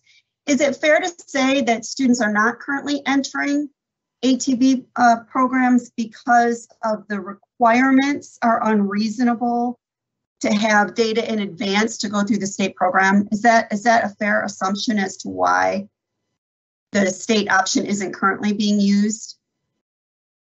Um, you know, I don't know if I could say that that, that you know, um, as far as the unreasonableness of it, I I don't know if I like to use the word unreasonable. It's it's it's a little unworkable. I mean, as as it currently is, uh, we did, as was pointed out in the introductory comments, approve one state. Uh, the other states that have been approved uh, were were done um, by default since we didn't take action during the six month period. Yes, it does put the department in a difficult position because currently the regulations require the establishment of this 95% success rate uh, where these state processes are mostly are new. So there doesn't exist any data for them to give to us to to show this. So it's a bit of a bit of a conundrum. We've thought about it for the last couple of years, and it's one of the reasons why we put it on this negotiating table. Um, as to why why only recently states have begun to participate to come into this. I think for a lot of years, before ATB was taken away in 2011, it just became established that the, you know, that there was the um, test process and then the uh, then the credits, and um, that just seemed to be what everybody did. I don't think there was a lot of interest in the states in applying. It wasn't that we didn't prohibit it; uh, it was certainly an, an, an option that was out there. But you know, frankly, in my I've been around for about 30 years in, in this, and um, it just was something that was in the regulations that until very recently we just didn't get the application. So I don't, I don't know, without querying states, you know, were, were there states that wanted to do it but were uh, put off by that um, success rate? That's that's possible. Um, but I, do- as I said, I just I just don't know uh, for sure. But it does seem that recently, anyway, in the past couple of years, there's a lot more interest in the um, in the state in the state process. I think than than than there has been previously. But that's about all I can say about it because uh, you know just for a lot of years we just got no applications. Thank you. Um, Johnson, Hi, thanks. Um, Greg, um, I, I missed the number of how many people are using this, and then they, related to that is, you know, you said at the beginning of the the paper that there are integrity issues. I'm not. This is not an area of that, that I'm well versed in. Could you just expand a little bit on that? And so I'm curious, how many people is this impacting, and what are the integrity issues that you're concerned about? Yes, so I'm, I'm going to hit, I, uh, will try to find, um, that figure. I think it was, I think it was 240,000 last year, but someone can, I'll have my, I'm gonna ha- ask my, uh, my, um, colleagues in departments. That's good enough. I know it's a lot of people. Yeah, I think it was about 240,000. Uh, and take it now, I- so that I, I- I'll have that confirmed or denied to me shortly because I just don't want to fumble through the paper while I'm, uh, while I'm talking to all of you. Um, but as far as integrity issues are concerned, uh, we are concerned about um, the, uh, well, as I said before, with, with, with respect to the state process, the current regulations not really giving us what we, what we need to, uh, to put into place a viable way of uh, assessing these, um, a viable means of assessing these programs. So we would be, with the current regulations, we would be stuck with, uh, you know, approving without that success rate. Um, uh, or, uh, or, or just not approving, which we don't want to do that. So, I mean, we do, we wanted to introduce regulations that will allow us, will, will be fair to schools. I mean, rather fair to the states and schools in, in bringing up this process initially. Um, and then being able to provide us the data to, to, to go, uh, to evaluate the program. So I, when we say integrity issues, I think it's a, I mean, that's a, that's a, uh, that's an, a structural thing we're talking about here. I don't think we've identified a specific state that we found was doing something un- untoward. Um, but we, uh, but we realize this could be, there could be large numbers of students coming in with this process. Um, it is an alternate process. So we are concerned about, uh, establishing, um, integrity with that. With respect to eligible career pathways programs in general, uh, you may recall that we did put out a dear colleague letter, um, regarding, uh, these um, programs because there was nothing in regulation, simply in statute. And uh, as far as integrity issues go, we are concerned. Again, this is not because we've necessarily identified in program review reports or audits specifically where this might be happening, but we do have concerns about the about the current structure allowing for a school to simply say, yeah, yeah, we have we have yes, we have a we have a uh, an ECCP, uh, ECP eligible career pathways program, ECPP, and just basically being able to say, yeah, yes, we have that, um, without there being anything in regulation to hold that school to. So currently, uh, I, I think, you know, the department's um, opinion is that, or, or belief rather, is that there just isn't enough out there to ensure that when schools offer these ECPPs, that they're, they're meeting the statutory uh, guidelines, and that's why we're putting it into regulation here. I think that will, it will help codify that and to make it clear that this is not just something you do because you just want to be able to take advantage of, a, of ATB again, that you want to, um, um, because remember, if Congress had wanted to bring back ATB in its entirety, they could have done that. They, they didn't choose to do that. They brought it back completely within the context of an eligible career pathways program. So we feel that uh, we have a, um, an interest, the department, taxpayers, students, um, in making certain that that process is being adhered to.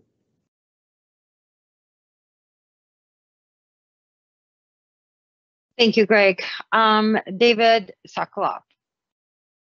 Uh, yeah, hi, thank you. Um, and uh, Greg, I want, if I could, at this point, to um, just, you know, before responding to the specific metrics on which you requested feedback, which I guess we'll get to one at a time, I just want to do some you know, response to the general frame you just said, especially about the congressional intent. Um, so first, applaud the department very much for clarifying what it takes to get the secretary's approval of a state process uh, to help students um, who have neither graduated high school nor have a equivalency diploma become eligible for Title IV student aid. Um, and I'm glad that there's a recognition that we need clarification about what's an eligible career pathway. But there's more that needs to be done in this reg uh, to make sure that ATB can actually uh, foster strong evidence-based integrated education and training programs, IET programs, that help this population make career progress and educational progress. Um, well-designed uh, IET programs, as the department knows, can help students who don't have a secondary credential. Um, but poorly designed ones can saddle students with um, unsustainable debt um, and um, and really uh, you know cause a lot of issues. That's why we asked the department for more data. You provided a little bit of data here, but we are looking for more data, which we did send a request in um, about how ATB is being used now.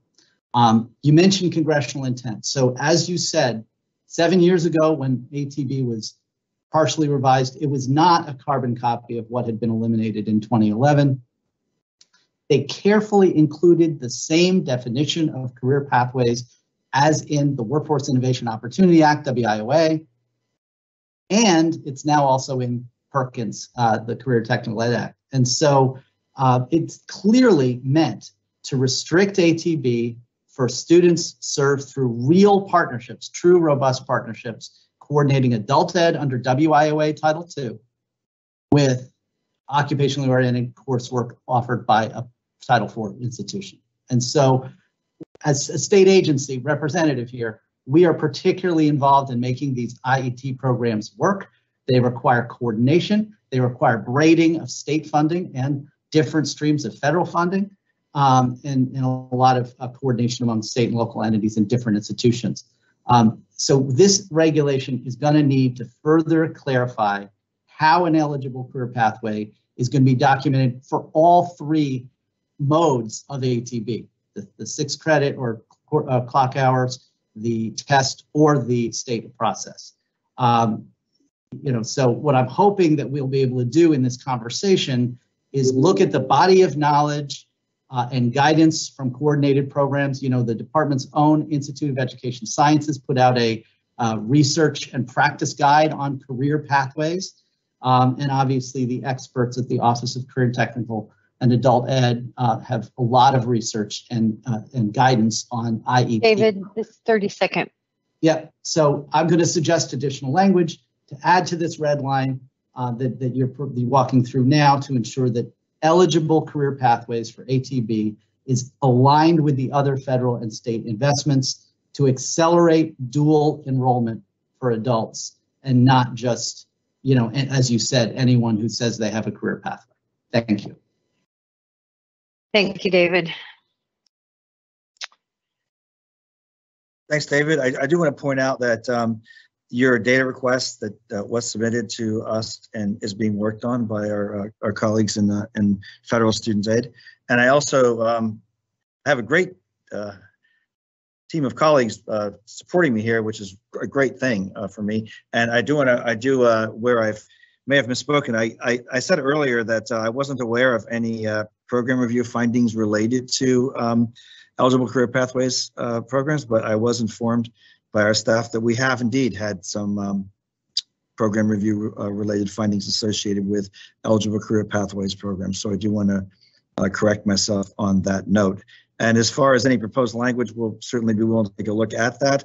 And um, as we go through and, and see, look at what we have here, um, we'll discuss that. If, if um, I mean, obviously the department feels that what we've presented uh, does uh, does accomplish the uh, what was just being what they were just discussed. But we can start uh, with going through that. Do we have any other, uh, Cynthia? Do we have any other uh, comments we need to take before we go into the reg? We do. We have two more comments. And Greg, I'd like to point out there was a question um, put uh, forth in the chat when you were presenting from um, Michael Lanouette. Michael, do you want to pose that question since you've been waiting patiently? Well, that's right. I was just wondering if the department could share how the 240,000 students were divided up by sec, uh, by sector.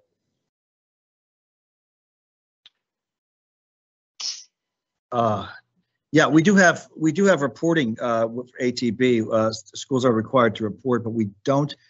uh, uh, Someone from my, from my group's gonna have to uh, clarify this. me. We, we know if it's, we know if it's a test.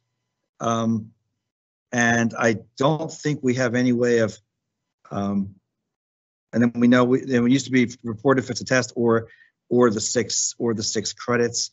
I don't think we have a mechanism for reporting state process, but I'll, I'll wait for, uh, um, they'll clarify that here for me. Um, hold on a second here. Um,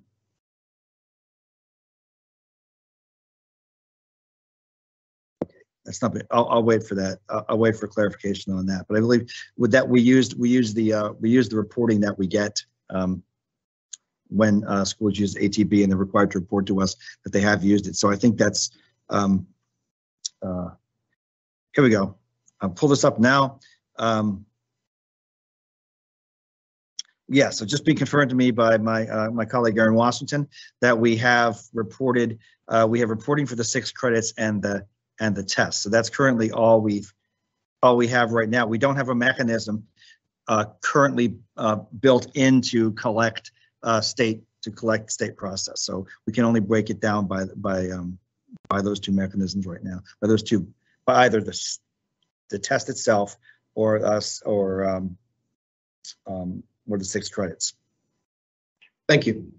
Okay, thank you. Um, a couple things before we move. We have two comments left, Jamie and Will. I do want to welcome Miss Amanda Martinez to the table for the newly added constituency of civil rights. Sorry, welcome Amanda. I also want to point out that Ashley Schofield has come to the table in place of Beverly uh, Hogan for minority representing institutions. And I think those are the only two changes at this point. So with that, Jamie? Thank you. Um, I first learned about ATB in 1993, but on behalf of those of us learning about ECPP in this process, uh, it would be helpful, Greg, if you could tell us, um, does this, couple of simple questions, I think. Does, do these provisions affect in any way HB students at other than ECPP programs? Are ECPP programs exclusively or almost entirely ATB students who have not yet, um, who are in dual enrollment or other kinds of programs? Or are there mixed enrollments at these programs um, that would allow comparison between people who have a traditional high school diploma and others? Um, then a, a thumbs up for the department on the, the notion of having initial and renewal conditions. I think that's a, a thoughtful and creative way to think about what you can know at the beginning and to start on a contained basis. But just a, a little bit about the ECPPs to understand the scope of uh, these provisions. Yeah, Jamie, and um, oh, thank you.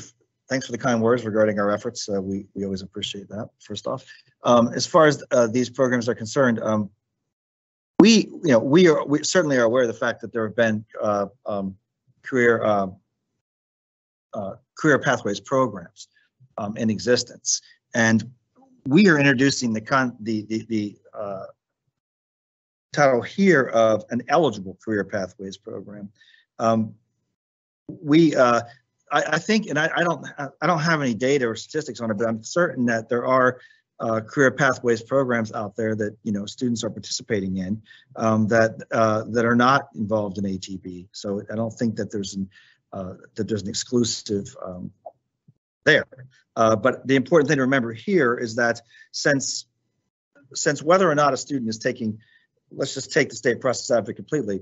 If a student is um, going to establish eligibility by taking, by uh, demonstrating ATB either through the test or through the approved tests or through the six credits or the or the um, requisite clock hours, um, then it still has to be an eligible career pathways program. So there's no other uh, there's no other entry point or gateway to ATB other than the eligible career pathways program, regardless of which particular means the student uses to establish that. So whether it's through a state process or test or, or uh, credits, the the uh, the eligible career pathways program has to be there. So that's why um, you know we're talking about exactly what uh, trying to make a distinction between career pathways programs that might be out there, which which may or may not meet all of these these statutory criteria that, that we have here for an eligible career pathways program. But but yes, I think you're right. Your point about it being able, it, could it be a mixed, um, could it be a mixed group of students? Um, yes, I mean there could be students in, enrolled in uh, career pathways programs. Um, uh, there could be students enrolled in, in, in, a program that meets the eligible career pathways program and all the uh, all the rigor that that that necessitates, but um, that are not um, accessing through uh, uh, um, through AT through uh, ATB. Although um, you know, if you're in, a, in, I mean, an eligible career pathways program has a dual um, mechanism through which students are uh, taking the post-secondary credential and also uh, having a pathway to a uh, to a high school diploma as well. So one would suspect that in the majority of cases, these these students um, uh, if they're accessing Title IV, uh, don't have a high school diploma. Cindy, may I ask a clarifying question? Sure, go ahead. Um, is this the only quality screen that the Career Pathways program has to go through? Is this where you get, is this where the control about whether it is good enough um, takes place, as opposed to all of the other things we're going to be talking about. Yes, as we walk through the rule, you'll see we'll start with the definition of a career pathways program. So there's the definition. What what are the elements of a career pathways program? And what you'll see here in B is taken from the from the statute. And then there are the uh, then we also are uh, proposing to regulate how a school demonstrates that it um, that it that it has done this uh, beyond just saying yes we, we have it what what means uh, does the school have to uh, mechanisms rather does the school have to, to, use to demonstrate to us that it is an eligible career pathways program. I mean currently it, it does have to meet these statutory criteria but but um, but we will be putting it into regulation. And we've not and, and we've not before um, uh, been specific about how a school has to demonstrate this. In our dear colleague letter we essentially just reiterated the statute and left it at that. So we are introducing a, a, a higher level of, uh, I think, of program integrity here with uh, with this. Okay, thank you. Um, all right, uh, Will, you are up next. Thank you, Cindy. Good morning again. Will Durden, uh, in Washington State with one of those approved plans. So thank you, Gregory, and the department for the state plans that have been approved so far. Uh, I think we were the second state in the nation, and we've been pleased to see some hearing of other applications coming in as well. I uh, I really want to second uh, Mr. Socolow's comments, and to that end, won't reiterate what's been said in the interest of time. Uh, also want to make a few general comments to really uh, highlight just how important, just how critical this work is for us uh, and how uh, how much it matters that we get this right. So we're pleased to be at the table here. We designed um, our state strategic plan in the community and technical college system in Washington state uh, explicitly to leverage the potential for ability to benefit uh, with our career pathways that our colleges offer through our guided pathways initiative, which we uh, which fits well with career pathways, our state IET model, which is IBEST, nationally recognized, and our competency-based high school completion program, High School Plus. So ability to benefit for us is a core component of our state strategy to lead with racial equity. It's really connected to and central to our equity efforts in state to transform lives within a culture of belonging that advances racial, social, and economic justice and service to our diverse communities. We took our state financial aid system, the Washington College Grant, and lined up the eligibility rules with federal ATB so that we could have a state and federal ability to benefit package easier to administer in the state because the rules match. Uh, that has really helped colleges braid state and federal resources to support students. So it's a core recruitment and strategic enrollment strategy for us to bring more underserved students, including students of color, into our high wage high demand programs. I'll have uh, additional comments at, at specific points uh, in the regs, but uh, just want to uh, note that you know, we I like the uh, the eligible career uh, pathway program, the ECPP. It has taken us a lot of time to help colleges feel comfortable with those criteria. Uh, we've often felt confident that the colleges are meeting that criteria, but they don't always have that same level of confidence. And to that end, uh, I don't see it as an additional burden or an additional accountability measure. I really see it as uh, support and guidance for institutions to feel like they know that there's a process that says, yes, we have an ECPP and we can feel good about that. So we absolutely welcome efforts uh, from the department to ease and help institutions use this. Uh, I, am surprised by the 240,000 figure. I thought it would be uh, much lower. So I'll be curious to see where the state distribution of that is and the industries and the other information that comes out on that. 30, 30 seconds. Okay. I was just going to give you your 30 seconds. Thanks, Will. And again, Okay, thanks for the kind so- words too. I appreciate that. All right. Seeing no other hands, Greg, do you want to move us forward?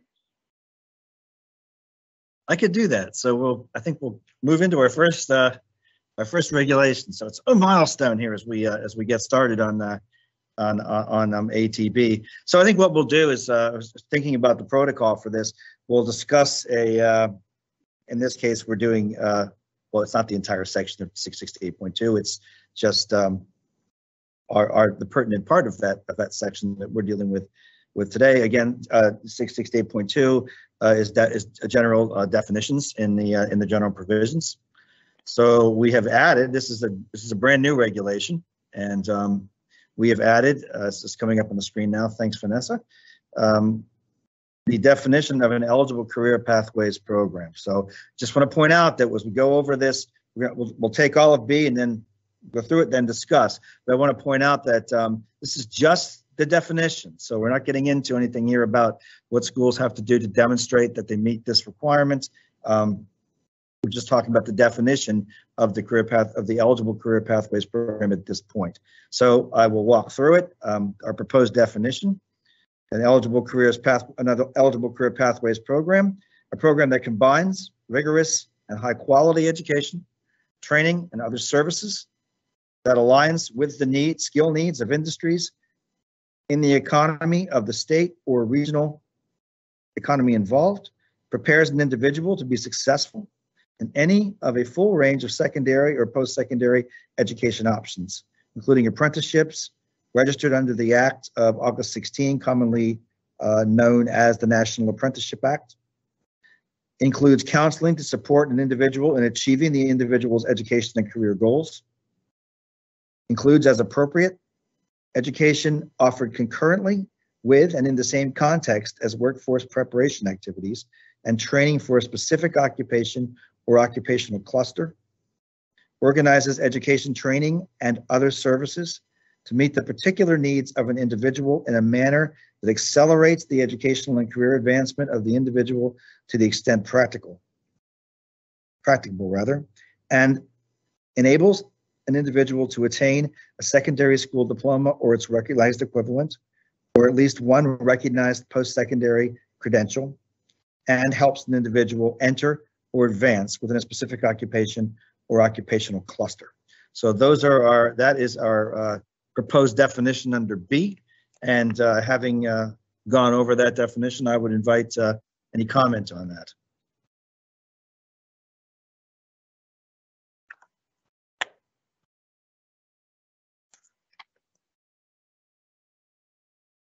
Sorry about that. I had a trouble getting my mouse to cooperate with me. No problem. Uh, thanks, Greg. Um, Kelly has her hand up. Good morning. I just, I have a question on, um, where it talks about enabling an institution to, uh, individual to obtain a secondary diploma. Um, does that, can you clarify whether or not that means that a school, um, would just need to offer a way for them to obtain that, or that it becomes something that they actually have to obtain that, that they have to get that diploma-. I guess what I'm saying is, you know, if schools are gonna offer or disperse aid um, based on outcomes that haven't happened yet, are they going to be retroactively penalized if the students do not actually obtain that secondary diploma? Or do they just need to provide the ability for them to obtain it? Yeah, that's a very good question. So, uh, to, to answer it uh, uh, broadly, no, we're not, re- uh, these regulations are not requiring that in order uh, for the uh, uh, student to have been eligible, if there's going to be a retroactivity test of whether the students um, did complete the, uh, the high school uh, credential. How, having said though, I don't want to, it's extremely important to us um, that the means um, to obtain the high school diploma be real and um, and are moving students toward this. The whole the whole idea of this, you know, of this of this eligible career pathways program is the student is that the student emerge with the um, post-secondary credential and also get the high school diploma. I think we we all are aware of the fact that irrespective of whatever else a student may do, uh, it's important to obtain uh, for people to obtain that high school that high school diploma. It's it's an important milestone in people's lives, and it's been shown to be uh, um, to be of great importance economically and, and socially in other ways. So, but no, we're not. And you'll see. I think we're going to go through the through the def through the uh, through the regulation, the proposed regulations, and you'll see how we propose to uh, bring integrity to that process of um, of uh, making certain that the that the pathway is there. Um, however, again, we, we we are not we are not proposing that there be a uh, in other words, if uh, the student does not ultimately obtain the uh, the, the uh, high school credential, would the student lose eligibility? No, uh, would or would the uh, would the eligible career pathways program become uh, ineligible? Uh, no. Thank you. Sure. Thank you. Um, I have lost my screen. I'm going to log out of the meeting. Commissioner Brady Roberts will step in until I can get this uh, screen back.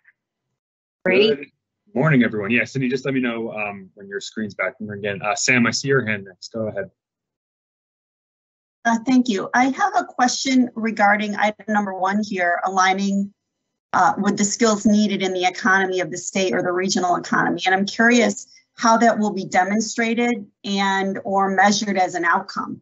Um, is this something like the Teach Grant proposal, which which can be very difficult um, to um, to monitor, and also I think restricted some students, right, who maybe didn't want to stay in the state or region once they achieved their credential or their skill. They might want to take that skill somewhere else where it is needed. So, uh, can you describe how that will work uh, in more detail, Greg? Yeah, we, we will get we will get to that. Um, you're talking about um, again, just for uh, um, back to my document here, clarity's sake, with uh, with uh, aligns with the skill needs of industries in the economy or of the state. Um, yes. Yeah, what we would so what we're looking for here is again we're going we're going to get into um, uh, more detail about uh, about the ECPP itself, but um, uh, what we uh, are looking for here is that there be a real, uh, on the part of schools, a real um, assessment of, uh, you know, did you look at what's uh, what skills, uh, what skill, what the skill needs were in the economy of the state or the, or the regional economy involved, and certainly within the context of the state process, we'll have states doing that. Um, with, but again, uh, this is available. You don't have to go through the state process in order to participate to have an eligible career pathways program. So, at, with schools, we would be looking to see, um, you know, what what measures the school took um, in designing the program. Like, you know, what what data did you look at to determine um, whether or not this aligns uh, with with indus- with, with industry needs? Um, you know, out there looking at what what what jobs are uh, available, uh, what uh, you know what what uh, pay levels are, what the economic success rate is of these of these students, and what we're really what we're really trying to prevent not allow to happen here is you know for for there to be a summary uh, sort of a summary um, judgment that oh yeah we you know we have a we have an X program and everybody knows that uh, the world needs whatever this is so therefore sure there's a uh, there's a skill need in the state for this um, but you actually have to have looked at data and, and applied that uh, to, um, you know, to, to that decision. Um, I, I, I don't, you know, as far as this kind of thing go, I think we all have to be, we all have to be uh, cognizant of this, honest about this, that um, the, uh, that this is not, um, um, this is not like, you know, how many days it, you have to make a, a- an R2T4 uh, payment, you know, there is a certain amount of, um, uh, it's not quite as objective as that, but I do want to, uh, we will get to that, and I, I, I point out, I'll point out here that, that we're gonna, this is described in, um, in 668, 157, that we will get to. So I'll just read the definition there now. We, we will get to that point, but I'll read it now. The program aligns with the skill needs of industries in the state or regional labor market in which the, in which the institution is based or located. Based on research the institution has conducted. Again, as I, as I pointed out already, it can't just be, yes, we teach X and everybody knows people need to hire that. So, um, and that would be government reports in, in, in identifying occupations with the greatest hiring demand in the state, region, in the regional market, surveys, interviews, meetings, or other information obtained by the institution. So you can see here, we're not being uh, 100% prescriptive. There- There is obviously some subjectivity involved here that we, uh, um, um, we can't, uh, that we can't entirely take out, but uh, this is, this is statutory. And um, this is uh, how we intend to regulate it. We'll, we'll get to that. And um, we're not there yet, but we will get there. But I just wanted to read that because um, that the question was asked. So that's how we intend to put it into regulation. Um, as, as far as like uh, um, being any more prescriptive than that, I, I don't, you know, so we're not saying, you know, exactly which government reports, which surveys, which interviews. I mean, just establishing the fact that this has to be researched uh, and, and not just um, not just eyeballed. And I want to thank my colleague Aaron Washington for, uh, for, for pulling that up for me. Just as a Thank quick you. note, I think Cindy, you're back and ready to go, so. I am, yes. Thank you, Brady. Uh, Amanda, you are next. Hi all, thank you. Well, one, I just wanted to introduce myself. Thank you all for for the vote of confidence. It's uh, great to be here, and I'm excited to learn and uh, ask all the questions, and hopefully come out with a better outcome for students who've been historically excluded from the higher education sector or been taken advantage of. Um, so just kind of a context, I have two questions, but before I get into my two questions about this specific issue paper, I did want to remind folks, you know, that the K through 12 sector has been also laden with many issues. Um, so those students who are currently maybe didn't complete high school or had issues with their high school education, that's coming from a longstanding history of, of, as we know, is uh, segregation in our higher and in our K through 12 system, which continues to be actually worsened uh, worsened uh, segregation within our high schools and the quality of education that students, especially Black and Latinx students, are receiving. Um, so I'm particularly, you know, interested in seeing the intention of schools using this ability to benefit. Um, you know, the, the definitions here are really important because we wanted to make sure that the students who maybe didn't receive the best high school education or not by their own choice or at their own fault, but really at the institutional level and are still interested in you know pursuing their career goals and achieving additional educational opportunities that what you know whatever opportunities that they're provided or seeing to which could be through this this pathway that states um, are are hoping to utilize that they are of quality that they're not once again being given a worst outcome. Um, so that's my introduction. I will then ask me two questions hopefully uh, the Department of Education can answer. In this, so my first question, the specific, um, the definition that we're going over right at, at the moment, eligible career pathway program, you know, it says in the, our issue papers that this was taken from or inspired by the definition drawn from statute is that are each of these line items specifically you know was there anything that was added or separated from the statute or is this exactly replicated from the statute definition i was just interested if you can just make those these are differences for me and then my second seconds oh go ahead Um, second question is that in line three includes counseling to support an individual. How else are you, is that really the definition of counseling? How are you defining what quality counseling is? Is that academic, non-academic? It's not really included there. So I'm wondering if there are other regulations that can help support what includes counseling really means. How you're, def- how are you assessing its quality of counseling? Okay, I'll, I'll take the first question. Uh, Our, our, uh, our definition as proposed here uh, pretty much mirrors the statute. That's, um, to my knowledge, we have not um, added anything there, but I'll, I'll ask my um, my colleagues um, to, uh, to uh, weigh in in the chat with me about, about that. But that, that's taken from the statute. As far as the uh, second question um, about the career counseling, again, we're going to be, um, um, and my, uh, my colleague has, Erin has just told me that, and uh, confirmed that this is pretty much cut and pasted from statute. So even, even a higher level than what I said, uh, I would, I would, um, it actually exactly taken from statute. Um, regarding the, the, the counseling, so again, we're, I'm jumping forward to six sixty-eight point one fifty-seven, where if you look in your papers, if you want to just, because six sixty-eight, uh, one fifty-seven is not the definition of a career pathways program, but it's, um, where we say an institution demonstrates to the secretary that a student enrolled in an eligible career pathways program as required, um, in six sixty-eight, one fifty-six, A three, uh, um, documents, documents that by, uh, in the following ways. And then we lay out how that's documented.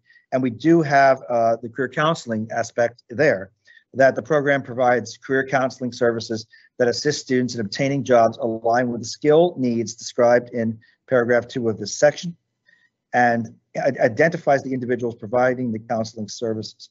So what we did there, uh, to your point about um, bringing uh, an, an added measure of, uh, of integrity to this beyond just, uh, yes, we, yes, we provide those services, is actually requiring the school to, to uh, indicate who does provide these services so that we can, I, um, you know, if they'll have to list, list people, those individuals, uh, you know, we can definitely, uh, in any type of a compliance setting, uh, say, you know, which individuals provide this and then determine, do these people actually provide the, the career service, the career counseling services? Because I think that, um, the, uh, um, important thing here is that they're actually, this is actually taking place, not just to check the box, you know? Yeah, we provide services. If a student asks us a question, we'll, we'll answer it, you know? Are there real career, is there real career counseling going on? And, and, and again, we're, we're in, we're in a subjective area where, you know, you, that's, that's to some extent the judgment call. And I don't think there's any way out of that, uh,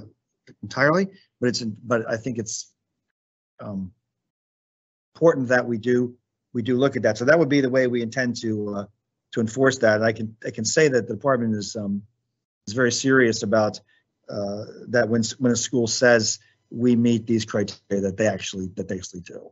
And I also want to say to, uh, Amanda, welcome, and, um, takes a lot of guts to be back. I think she's a, she's a veteran of my, uh, uh, I think she was on the, uh, subcommittee for, distance and innovation. So, the fact that she's back with me does say something about her, about her tenacity and willingness to, uh, go back at it again.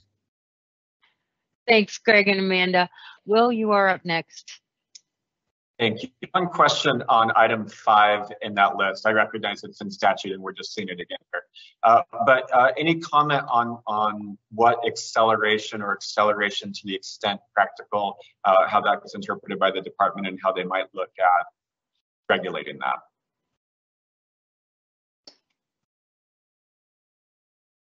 I'm sorry, which, uh, which, oh, I'm sorry, I was, you said item number, uh, item Number number five. right? five. Uh, So, yeah, uh, um, organizes education, training, other services to meet the particular needs of an individual in a manner that accelerates the educational and career advancement of the, of the individual to the extent possible. Um, I, uh,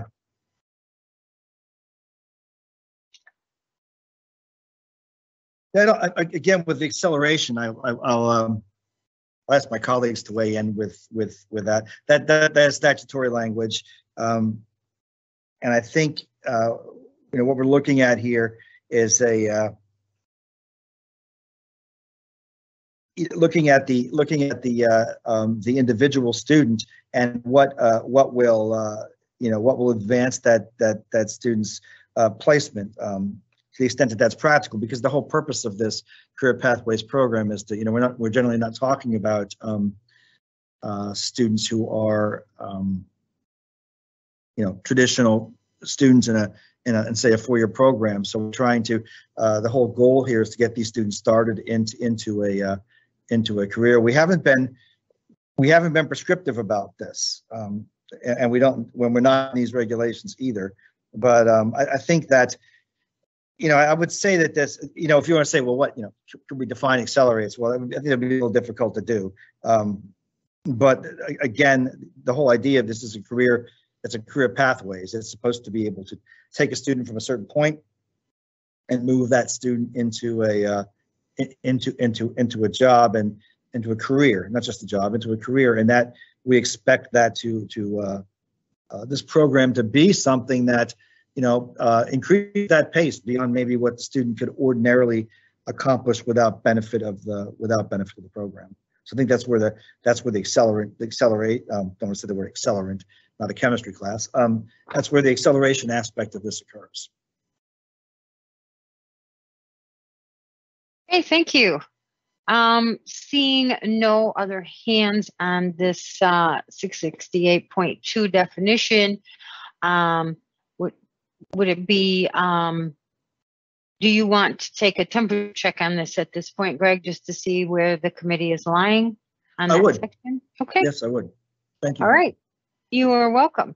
So uh, remember, a temperature check is it's it's not consensus. It's just a check to see where the committee falls.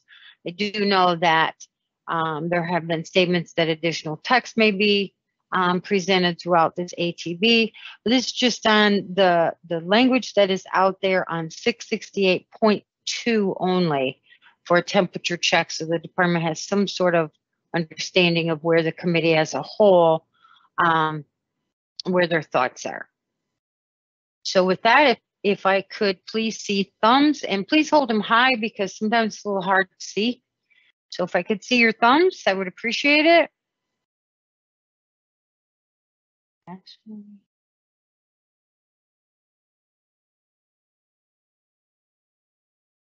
Okay, I'm not seeing any thumbs down. Um, so hopefully that is helpful, uh, for the department, uh, on six sixty-eight point two. That I want to thank you all for that. Um, so that brings us to the next section, right? Uh, Johnson, you have a question?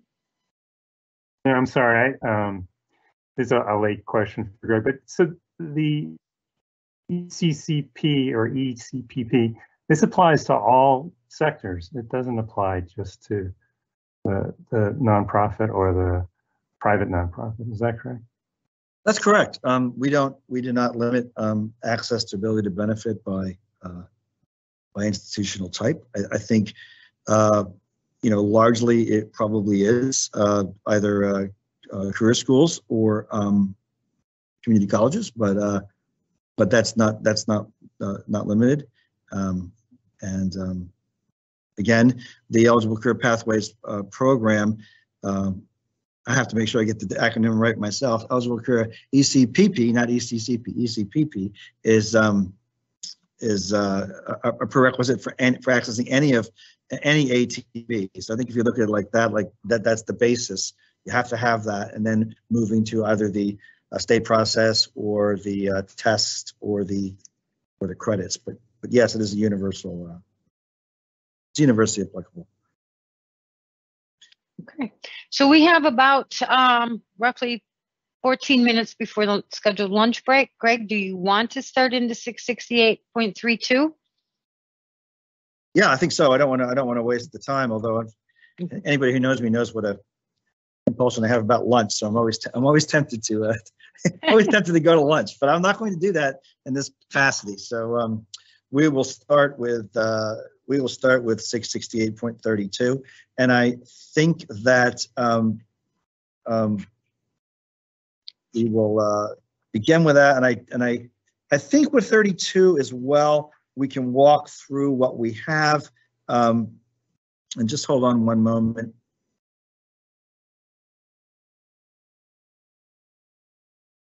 And we'll walk through 32. This is, and just, just to clarify, this is student eligibility.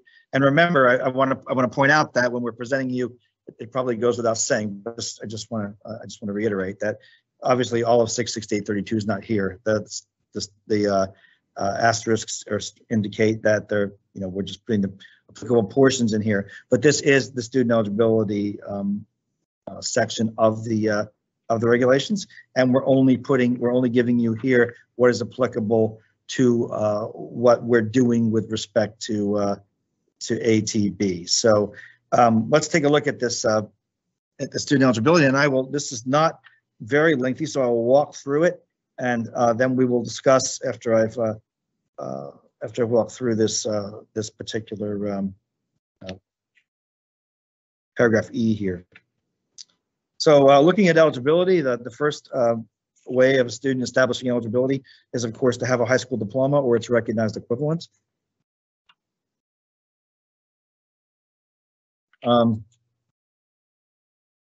next has obtained a uh, passing score identified by the secretary on an independently administered test in accordance with subpart J of this part. So that's the where we uh, uh, the tests obviously are the approved ATB tests, and the are there are only two mechanisms. Like I, I kind of uh, I'm going to apologize. I, I, I, I misspoke a little bit uh, before in saying that that the uh, ECCP uh, is the only mechanism through which you can access ATB. That's not quite true. I think it is true for all practical purposes now that we are as far away removed as we are from 2012. Um, in mo I should say for most practical purposes. So let's take a look at this. They they could take the test and either was in, was first enrolled in an eligible program before July 1, 2012 so they would have to prove that they were in an eligible program before that. So obviously we could have non-traditional students who meet that uh, meet that requirement or is enrolled in a career pathway program as defined in 668.2, which we just looked at and uh, uh, did our temperature check on. So I think in most cases it is going to be uh, Romanette 2 there, but do want to point out that there still is this grant, this grandfathering that, that Congress did uh, when they brought back uh, uh, ATB that was probably a little more pertinent at the time. As we as we move away from 2011, um, it, it's less and less so with each year, but certainly it's possible. Um, and three, you can see here we we bring in the uh, is enrolled in an eligible institution that uh, participates in a state process approved by the secretary under subpart J of this process, and we'll be looking at the state process uh, later on in this discussion of our ATB issue paper here. And either was enrolled uh, in an eligible program before July 1, 2012, or is enrolled in an eligible career pathways program as defined in 668.2. So again, you're seeing there that even with the whether it's through the the uh, the the, uh, the the, the um, test or the in this case the state process, still have to have the eligible career pathways program. The next mechanism is um, was homeschooled and either obtained a school completion credential for homeschool other than a high school diploma or a recognized equivalent provided by uh, provided for under state law, or if the state does not require homeschool, student to obtain a credential described in this section has completed the secondary school education in a home setting that qualifies as an exemption from compulsory attendance requirements under state law. So just that's not pertinent to what we're doing here, but just a reminder of all the ways a student can establish eligibility other than a high school diploma. And lastly, has been determined by the institution to have the ability to benefit from uh, the education or training offered by the institution based on the satisfactory completion of six semester hours, six trimester hours, six quarter hours, or 225 clock hours that are applicable toward a degree or certificate offered by the institution. And that has oh, that has been there uh, for quite some time, uh, as we discussed in the history of ATB. But here we are adding, uh, for clarification purposes, uh, was either enrolled in a, an eligible program before two, uh, before July 1, 2012, or is enrolled in an eligible career pathway program as defined in 668.2. So basically what we're doing here, I, I, think this is a this is a good clarification of the regulations, tying all of these mechanisms that are related to ATB back to the eligible career pathways uh, program requirement. Uh, and again, just throwing in there that there is that other op option, not really an option, it's a possibility where the uh, student was enrolled in an eligible program prior to July 1, 2012. So with that, I'll open it up for comments, discussion. Okay, thank you, Greg. If we could stop the screen share, please. Thank you. All right, so uh, questions, comments?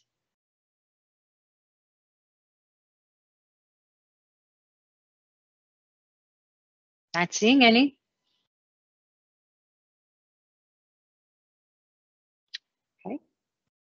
Um, how about we go ahead and take a temperature check on this section just to just to see where we're at, Greg? I think that's a good idea. Okay. All right. If I could see your thumbs high, please, I'd appreciate it.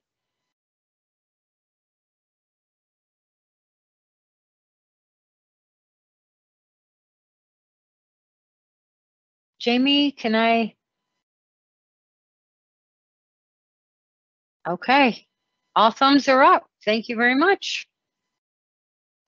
All right, Greg, you have seven minutes before lunch. I want to thank everyone for that. And um, why don't we move on to just, I'll just, you know, I can describe, I think we're going to move on to uh, 668.156. And here we are, uh, is where we are uh, discussing the approved uh, state process. So I think because this section is a little uh, we're, we're dealing with a little more of a lengthy, uh, a lengthy session section here. I would like to, I think I'll go through it by, uh, I'll go through it by applicable paragraph. So why don't I just start with A? We might be able to get a little bit of discussion in. I, I realize we have a we have a hard stop at 12:30, and we don't have an excessive amount of time for lunch today, so we want to make sure that uh, we adhere to that. Um, so let's just start here. I'll, I'll go through A. We'll have a discussion of that and um, see where we stand. So um, the approved state process. A state that wishes the secretary to consider its state process as an alternative to achieving a passing score on an approved independently administered test or the satisfactory completion of at least six credit hours or recognized equivalent coursework for the purpose of determining um, uh, a student's eligibility uh, for Title IV HEA program funds must first apply to the secretary for approval of that process. So making it clear here that the state that wants to participate in this process must make application to the uh, the secretary to the department for approval. And let's look at what the uh, what the state's application for approval uh, must include.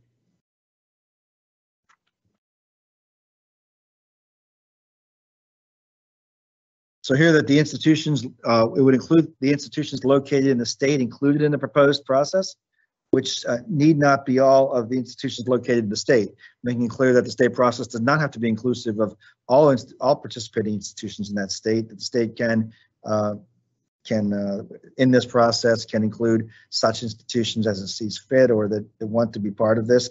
But in any case, they do have to let, inform the department of which institutions will be participating the requirements that participating institutions must meet to offer eligible career pathways programs through the state process. So each state has a different process, um, and they have different qualifications. Qualifications the institutions are must meet to participate. We need to be informed of what those are, and a certification that as of the date of application, each proposed career pathways program intended for use through the state process constitutes an el- constitutes rather an eligible career pathway program that uh, that is uh, described under 668.2, the definition we just went over. So uh, uh, uh, certifying to us that all of the uh, programs included in this do meet the definition of an eligible career pathways program. And we also are requiring that it be disclosed to us what the criteria used for determining student eligibility participation in the state process is. And before um, before approving the state process, the secretary will verify that a sample of the proposed eligible career pathways programs comply with the definition of an eligible career pathways program under 668.2 of this part. So we will be informed of all of the programs that are, all the institutions and programs participating uh, in this through the state process. And prior to our approval, we are going to uh, sample some of those um, programs to determine that they do indeed meet the, uh, the definition found in 668.2. So I'll stop there. Uh, we still have, we have three minutes. I guess we can entertain a few questions or comments before we reach the 1230 uh, um, break point. Okay, uh, Johnson? Yeah, hi, great. What, wasn't there a provision that said if the secretary didn't act, act on something within six months, it became, uh, it was by default approved? Um, and, and does that, does that undercut this monitoring thing where the secretary is supposed to do a sample?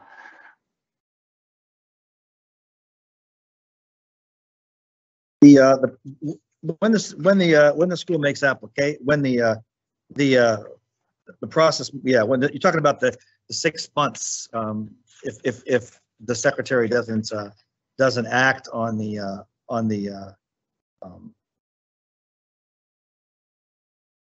doesn't act on the, uh, on the application to, uh, either approve or deny, um, does that, does that remain in, um, in, uh, and, and that, is that remain in, does that remain in effect? And that is in here, just want to, um, yeah, I just, oh, I was just found it and my colleague just gave it to me here. So if you look at, um, D, so it is in this section, we just haven't got to it yet. Um, looking, uh, yeah, D1. Okay, so if you look over on D1, uh, that is still included. The secretary uh, responds to the state's request for approval uh, of its state process within six months after the secretary's receipt of that request. If the secretary does not respond by the end of six months, the state process is deemed to be approved. So uh, that is consistent with what we are uh, um, proposing here because it doesn't require that the secretary have have actually, uh, you know, gone through every step of approval. We simply have to respond uh, to the request for, for approval within six months. And that is, that is in statute. So we have mirrored that here in our regulation. And uh, again, in D, in, in D1, paragraph D1. Okay, thank you, Johnson and Greg. Kelly? Sorry, I was trying to find my mute button. Um, question about um, number two and the the third one where it talks about the a certification um, that each proposed CP or C sorry CPP EC, ECPP. ECPP ECPP. um, is part of it. So I, I guess my question is, does that certification require that each of the pathway programs be listed? Because if not, how are you going to verify a sample in number three if they're not listed? Like, does the state have to list each of the, the programs? Here, I am on mute. Okay, I'm not on mute. Uh, so yeah, the, inst- we, this, the, uh, the, um, um, as you can see in the regulation, the institutions in the state have to be identified and, um, uh, the, uh, the, and, and through, I mean, we would know, I mean, so obviously if the institutions are identified, we, we, we know, um, that those institutions, uh, have career pathways programs. I'm not, I don't think, and I'll, I'll ask my colleagues, um, who are, uh, back monitoring and, and, and, and, and, um, you know, doing all this, the legwork here. I, here, we, we do say the institutions, uh, must be identified and, um, we would know, obviously, then if the institution has been identified that does have a career pathways program, I think we would have an avenue to, to, you know, to sample that. I don't know that we've been prescriptive here about, so when the, when the state, uh, informs us of the, um, if the question is when the state informs us of the institutions themselves that would be participating, uh, is it required uh, at that point that the uh, that the um, under the listing of institution that each program be identified, or would or would the department uh, certainly we could get to, we could get to that by simply querying the schools that we're going to sample of which programs they're offering that are uh, that are career pathways programs. But uh, I'll take that back with me as far as you know, does that need to be fleshed out um, a, a little bit more? But I think that we, I don't think that we're, I don't think that we're at a deficit here because if the institution's identified to us, then um, then we know it does have career pathways programs. Uh, the state's certified that it meets, so we can we'll know then which programs those are, um, or we can certainly determine that. But I'll ask for some more clarification here. Uh, and I'm being told from my colleagues that yes, we they are going to take that back and think and think about that because we haven't. That's a good question. We um, I think I think that's sort of imputed here, but not not made 100% clear. Thank you very much. And then Cindy, one, uh, one other question. My um, alternate uh, Manuel has a question that he would like to ask.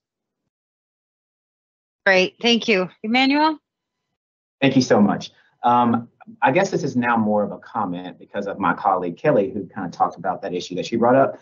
But I think when we are looking at this, the department should consider, I'm assuming that this would be public available information for students and families to be able to look at and know um, what eligible career pathway programs are being offered in the state, what institutions are offering them. So I'm assuming this is going to be public. I just didn't, I guess, read that it would be but I'm assuming that it would.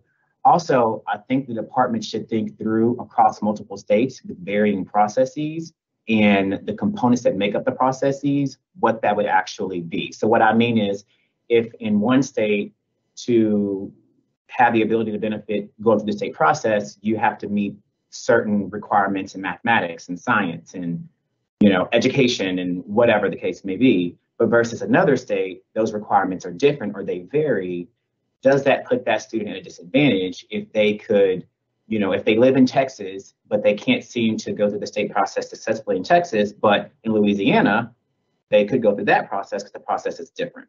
So, not that I, you know, I'm not advocating for a standardized process necessarily across every single state in the country, but I just think it's something to think through um, when it comes to putting in this language of allowing a state, even though in statute, technically, I guess a state could already do this, um, but just kind of clarifying in the language that there is a six credit hour um, coursework equivalent the state could create.